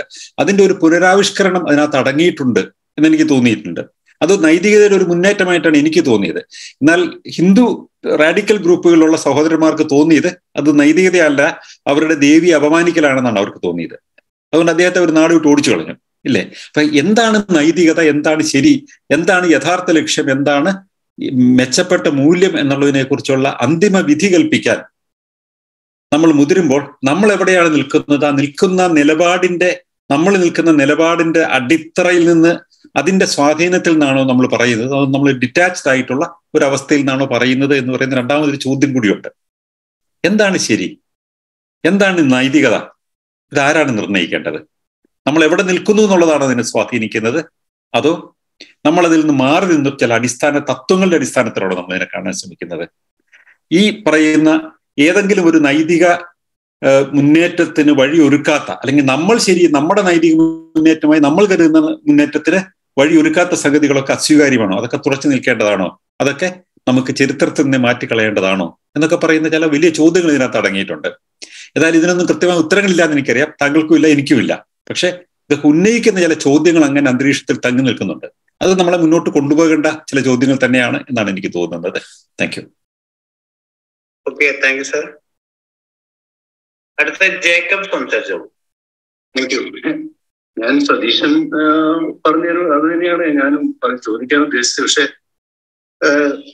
വളരെ എന്ന് പറയുന്ന വളരെ റിഗ്രസീവായിട്ടും വെറുപ്പും വംശീയതയും വളർത്തുന്ന അല്ലെങ്കിൽ ഒരു ഒരു സ്റ്റേറ്റിലെ ജനങ്ങളെ മുഴുവൻ അടച്ചാപേക്ഷിക്കുന്നത് അദ്ദേഹത്തിന്റെ ആവിഷ്കാര സ്വാതന്ത്ര്യത്തിന്റെ ഭാഗമായിട്ട് അനുവദിക്കണം. അല്ലെങ്കിൽ അതിനെ ക്രിറ്റിസൈസ് ചെയ്യുന്നതിന്റെ കാര്യമില്ല എന്ന് പറയുന്നതിനോട് എനിക്ക് വലിയ പലരും പല കാലഘട്ടങ്ങളിൽ ഇതുപോലെ ഐസിസ് പോലെയുള്ള പ്രസ്ഥാനങ്ങൾ അല്ലെങ്കിൽ പക്ഷെ സനലിൽ അറിയാതിരിക്കുന്ന അറിയാതിരിക്കില്ല എന്ന് ഞാൻ വിശ്വസിക്കുന്നു. മുൾക്കരാജ് ആനന്ദ് എന്ന് പറയുന്ന അഞ്ച് കോംറേഡ്സ് ആറ് പേരെ ഇവർ സ്പാനിഷ് സിവിൽ വാറിൽ പങ്കെടുക്കാൻ വേണ്ടി ഇന്റർനാഷണൽ ബ്രിഗേഡിന്റെ ഭാഗമായിട്ട് കേണൽ ഫ്രാങ്കോനെതിരായിട്ട് ഇവരതിൽ പങ്കെടുത്തു. പക്ഷെ സ്പാനിഷ് സിവിൽ വാറിന്റെ അന്ത്യം എന്ന് പറഞ്ഞ കേണൽ ഫ്രാങ്കോ ജയിക്കുകയായിരുന്നു.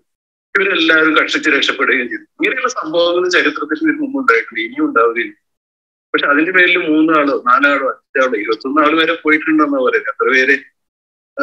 അഫ്ഗാനിസ്ഥാനിലോട്ട് സ്ത്രീയിലോട്ട് ഇരുപത്തിനാല് ഐ എ പറയുന്നുണ്ട് നമുക്ക് അത് തെറ്റിദ്ധരിക്കേണ്ട കാര്യം. അങ്ങനെയുള്ള വളരെ വളരെ എന്താ പറയുന്നത് ചെറിയ ചെറിയ കാര്യങ്ങൾ ഇതുപോലെ തന്നെ ഒരു സ്റ്റേറ്റിനെ അല്ലെങ്കിൽ സമുദായത്തെ താരടിച്ച് കാണിക്കാൻ വേണ്ടി അത് ആവിഷ് അദ്ദേഹത്തിന്റെ ആവിഷ്കാര സ്വാതന്ത്ര്യമാണ് നിങ്ങൾ ഒരുപക്ഷെ എനിക്ക് തോന്നുന്നു ഇരുപത്തൊന്നാം നൂറ്റാണ്ടിൽ നടന്ന ജനോസൈഡ് എന്ന് പറയുന്നത് നടന്നത് റുവാൻഡയിലാണ്. റുവാൻഡയിൽ ഇതുപോലുള്ള വെറുപ്പും വിദ്വേഷമുള്ള പ്രൊപ്പഗൻഡ സിനിമകളും പ്രൊപ്പഗൻഡ സിനിമയും ഉണ്ടായിരുന്നില്ല. അവിടെ റേഡിയോ ഏകദേശം പതിനഞ്ച് ശതമാനം വരുന്ന ഇന്ത്യയുടെ മാതിരി തന്നെ പറയാം. പതിനഞ്ച് ശതമാനം വരുന്ന മുസ്ലിം ജനതയ്ക്കെതിരെ എതിരെ നടന്ന വളരെ കത്തോലിക്ക സഭ നടത്തിയ ആസൂത്രിതമായിട്ടുള്ള പ്രൊപ്പഗൻഡയുടെ അനന്തരഫലമായിരുന്നു ഏകദേശം വൺ മില്യൺ മൂന്ന് മാസം നീണ്ടുവരുന്ന കലാപങ്ങളിൽ ഒരു മില്യൺ അടുത്ത് ആൾക്കാർ കൊല ചെയ്യപ്പെട്ടു. അതിന്റെ റിപ്പോർട്ടൊക്കെ ഇങ്ങനത്തെ റിപ്പോർട്ട് തന്നെ നെറ്റിൽ കിടപ്പുണ്ട്. സണ്ട് അത് അറിയാതെ പോയതാണെന്ന് എനിക്ക് തോന്നുന്നില്ല. ഇതുപോലുള്ള സിനിമകളെ ഒരു തരത്തിലും ന്യായീകരിക്കേണ്ട കാര്യമില്ല. ഇത് വളരെ റിഗ്രസീവ് ആയിട്ടുണ്ട്. മനുഷ്യത്വ വിരുദ്ധമായിട്ട് ഒരു സ്റ്റേറ്റിനെയും അല്ലെങ്കിൽ ഒരു സമുദായത്തെയും കൃത്യമായിട്ടുള്ള പ്രൊപ്പഗണ്ട ഇത് ഒരു സിനിമ അല്ല കാശ്മീർ ഫയൽസ് വരുന്നു.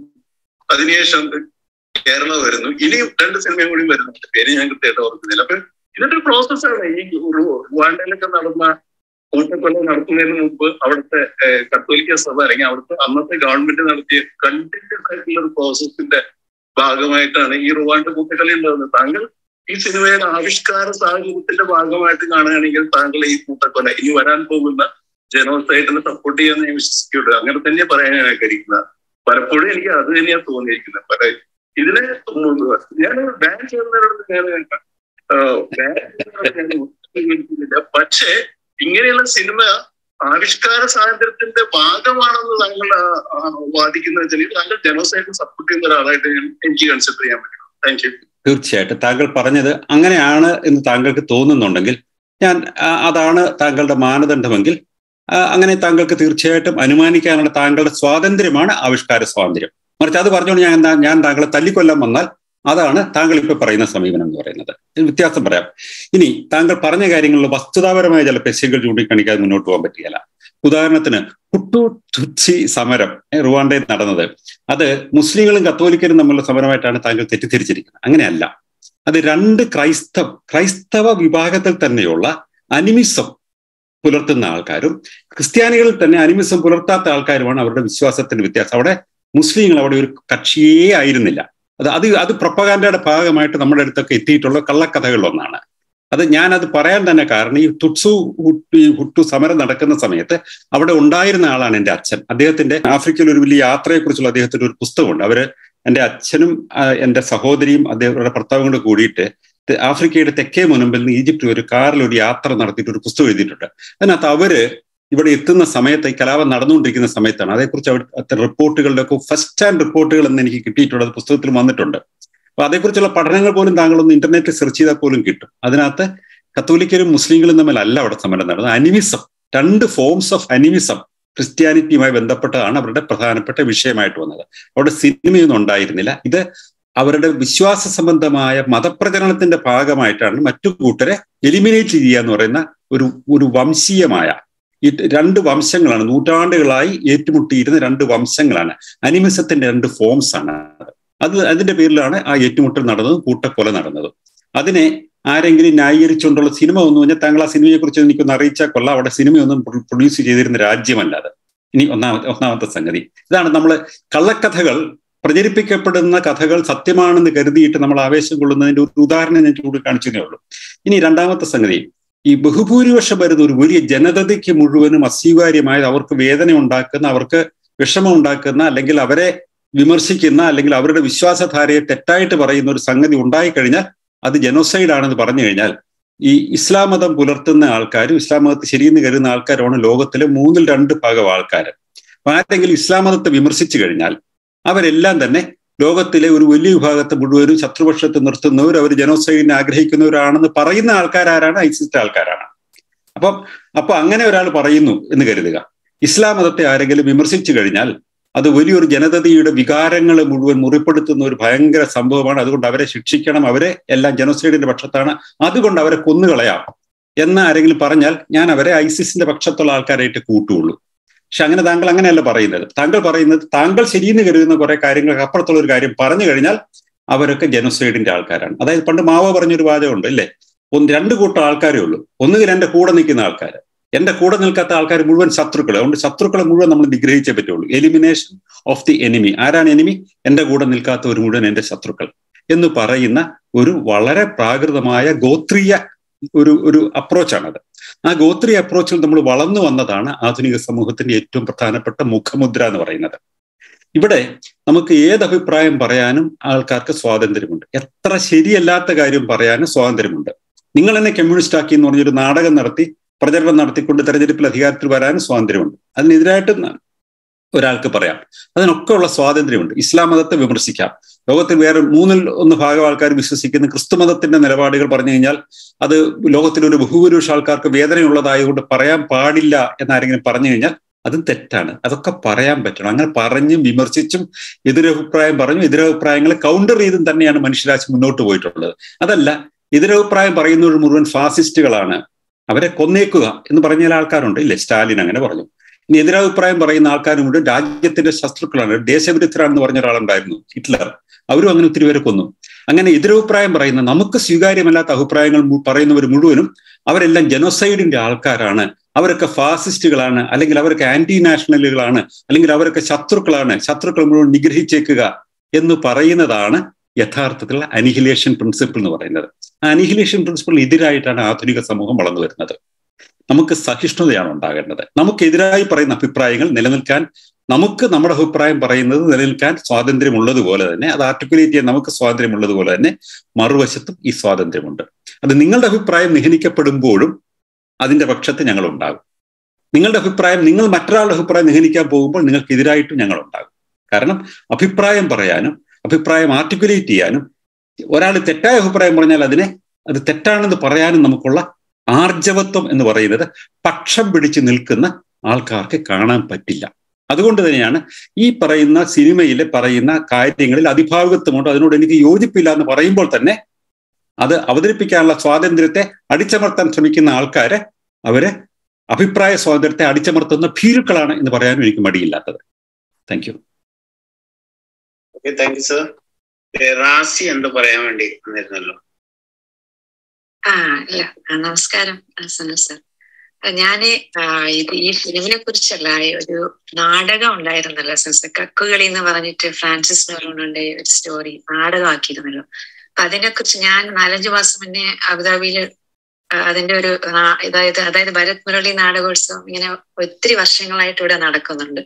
പല സംവിധായകരും ആ, എല്ലാരും നാട്ടിലെ പ്രമുഖരൊക്കെ വന്ന് വളരെ വലിയൊരു പ്രോഗ്രാമാണ് അത് എല്ലാ എമിറേറ്റ്സിൽ നിന്നും നാടക സംഘങ്ങൾ ഇവിടെ വരികയും കേരള സോഷ്യൽ സെന്ററിൽ അത് നടത്തി പോരുന്ന ഒരു വലിയ ഉത്സവം പോലെ ഞങ്ങളൊക്കെ ഒരു ഉത്സവം പോലെ കാണുന്ന ഒരു സംഭവമാണ്. അപ്പം ഈ കക്കുകളി എന്ന് പറയുന്ന ഈ നാടകം അത് അവർ രണ്ട് രണ്ടു മാസത്തോളം ഇവിടെ പ്രാക്ടീസ് ഒക്കെ ചെയ്ത് ഒത്തിരി ഇവിടെ എല്ലാവരും വർക്ക് ചെയ്യുന്നവരാണ് ആർട്ടിസ്റ്റുകളൊക്കെ. അവർ ജോലിയൊക്കെ കഴിഞ്ഞിട്ട് ജോലി കഴിഞ്ഞുള്ള സമയം ഇങ്ങനെ എന്താ പ്രാക്ടീസ് ഒക്കെ ചെയ്ത് ഒത്തിരി കഷ്ടപ്പെട്ട് രണ്ട് രണ്ടര മാസത്തോളം അവർ റിഹേഴ്സലൊക്കെ ചെയ്യും. അങ്ങനെ അതൊക്കെ ചെയ്ത് കഴിഞ്ഞിട്ട് നാടകം സ്റ്റേജിൽ എട്ട് പത്ത് നാടകങ്ങൾ ഉണ്ടായിരുന്നു. ഒരെണ്ണം കക്കുകളി ചോ മഠത്തിൽ എന്ന് പറയുന്നതായിരുന്നു അതിന്റെ ഡയറക്ടർ പുള്ളി നാട്ടിൽ നിന്ന് വന്നതാണ് അപ്പൊ അത് അവതരി എല്ലാം അവതരിപ്പിക്കും എല്ലാം അവതരിപ്പിച്ചു എല്ലാം കഴിഞ്ഞു ലാസ്റ്റ് പ്രൈസ് ഡിസ്ട്രിബ്യൂഷന്റെ ഡേ നമ്മുടെ കേരള സ്പെഷ്യൽ സെന്ററിന്റെ ഭാരവാഹികൾ പറയുമായിരുന്നു ഈ നാടകം നമ്മുടെ മത്സരത്തിൽ പരിഗണിക്കുന്നില്ല. ചില പ്രത്യേക കാരണങ്ങൾ എന്ന് പറഞ്ഞിട്ട് അതിനെ ഒഴിവാക്കുകയാണ് ചെയ്തത്. അപ്പോ എല്ലാവരും ഭയങ്കര സങ്കടത്തിലായിരുന്നു. എന്റെ ഫ്രണ്ട്സൊക്കെ അതിൽ ആക്ട് ചെയ്ത ആക്ട്രസ് ഒക്കെ എന്റെ ഫ്രണ്ട്സ് ഒക്കെ ഉണ്ടായിരുന്നു. അതുപോലെ ഡയറക്ടറൊക്കെ അപ്പൊ തന്നെ ഭയങ്കര ആ നിമിഷമാണ് അവരെ അറിയുന്നത് പോലും. അങ്ങനെ ഭയങ്കര വിഷമിച്ചൊക്കെ അവർ പോവുകയൊക്കെ ചെയ്തു. അവരുടെ അത്രയും നാളത്തെ ആ ഒരു എഫേർട്ടും ആർട്ടിസ്റ്റുകളുടെ അതൊക്കെ അതൊക്കെ നമ്മൾ അതൊന്നും കാണാതെ അവിടെ ആ പ്രോഗ്രാം കാണാൻ വന്ന ചിലവര് ആക്ച്വലി അതിന്റെ പ്രമേ പ്രമേയം എന്ന് പറഞ്ഞാൽ എല്ലാവർക്കും അറിയാം കത്തോലിക്ക സഭയ്ക്കകത്ത് നടക്കുന്ന പീഡനങ്ങളൊക്കെ. അവിടെ ഒരു കടപ്പുറത്തുനിന്ന് ഒരു പെൺകുട്ടി അതിൽ സഭയിൽ ചേരാൻ വരുമ്പോഴേക്കും അവർ ബാക്കിയുള്ള കത്തോലിക്ക എന്താ പറയാ ഈ കന്യാസ്ത്രീകളൊക്കെ അവരെ ഒത്തിരി പീഡിപ്പിക്കുന്നതും അവരെല്ലാം അവസാനിപ്പിച്ച് തിരിച്ച് കടപ്പുറത്തേക്ക് തിരിച്ചു പോകുന്നതുമാണ് അതിന്റെ ഒരു കഥ അതിന്റെ ഒരു പ്രമേയം അങ്ങനെയാണ്. അപ്പൊ അത് അവിടെ കാണാൻ വന്ന കേരള സോഷ്യൽ സെന്ററിൽ കാണാൻ വന്ന കുറെ ക്രിസ്ത്യാനികൾക്ക് അത് അവരെ മത മതത്തെ അവരെ ഹേർട്ട് ചെയ്തു എന്നുള്ള രീതിയിൽ അവർ മിനിസ്ട്രിയിൽ കംപ്ലൈന്റ് കൊടുക്കുകയും ആ നാടകം ഈ മത്സരത്തിൽ നിന്ന് തന്നെ ഒഴിവാക്കുകയൊക്കെ ചെയ്തു.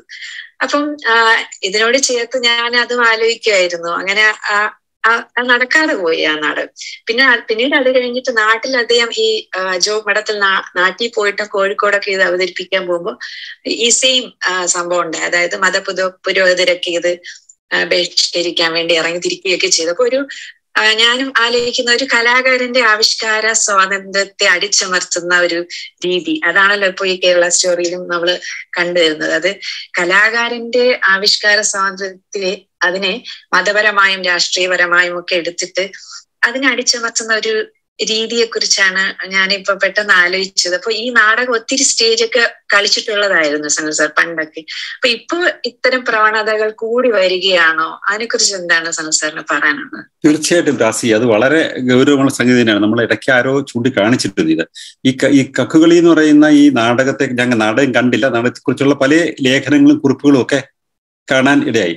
അത് അതിന്റെ അത് അവതരിപ്പിക്കാൻ സാധിക്കാതെ വരുന്നത് ഒരു ഒരു ഒരു സമുദായത്തിന്റെ പ്രഷറിന്റെ കാരണങ്ങൾ കൊണ്ടാണ് ഒരു യാഥാർത്ഥ്യം. ഇനി അത് യാഥാർത്ഥ്യമല്ല എന്ന് കരുതുന്ന ആൾക്കാരുണ്ടെന്നിരിക്കും. ഇപ്പൊ കന്യാസ്ത്രീകൾ അനുഭവിക്കുന്ന പീഡനത്തെ കുറിച്ചിട്ട് എത്രയോ കന്യാസ്ത്രീകൾ തന്നെ എഴുതിയിട്ടുണ്ട്. ലെ സിസ്റ്റർ ജസ്റ്റിന് എഴുതിയിട്ടുണ്ട്. എത്രയോ പേര് എഴുതിയിട്ടുണ്ട്. അവിടെ നിന്ന് വെളിയിലേക്ക് വന്ന ആൾക്കാരൊക്കെ തന്നെ വളരെ വളരെ അവിടെ നിന്നുകൊണ്ട് തന്നെ ആൾക്കാർ എഴുതിയിട്ടുണ്ട്. എല്ലാവർക്കും അറിയാവുന്ന സംഗതിയാണ് ഫാക്ച്വൽ ഫിഗേഴ്സ് ലോകത്തിന്റെ എല്ലാവരുടെയും മുന്നിലുണ്ട്. എന്നാൽ അത് തെറ്റാണെന്ന് ആർക്കെങ്കിലും തോന്നുന്നുണ്ടെങ്കിൽ അവർ വസ്തുതകൾ വെച്ച് അവർക്ക് അതിന് കൗണ്ടർ ചെയ്യാമല്ലോ. അത് പറയാനുള്ള ഈ കലാകാരന്റെ സ്വാതന്ത്ര്യത്തെ തടയാൻ ശ്രമിച്ചത് തീർച്ചയായിട്ടും അപലപനീയമാണ്.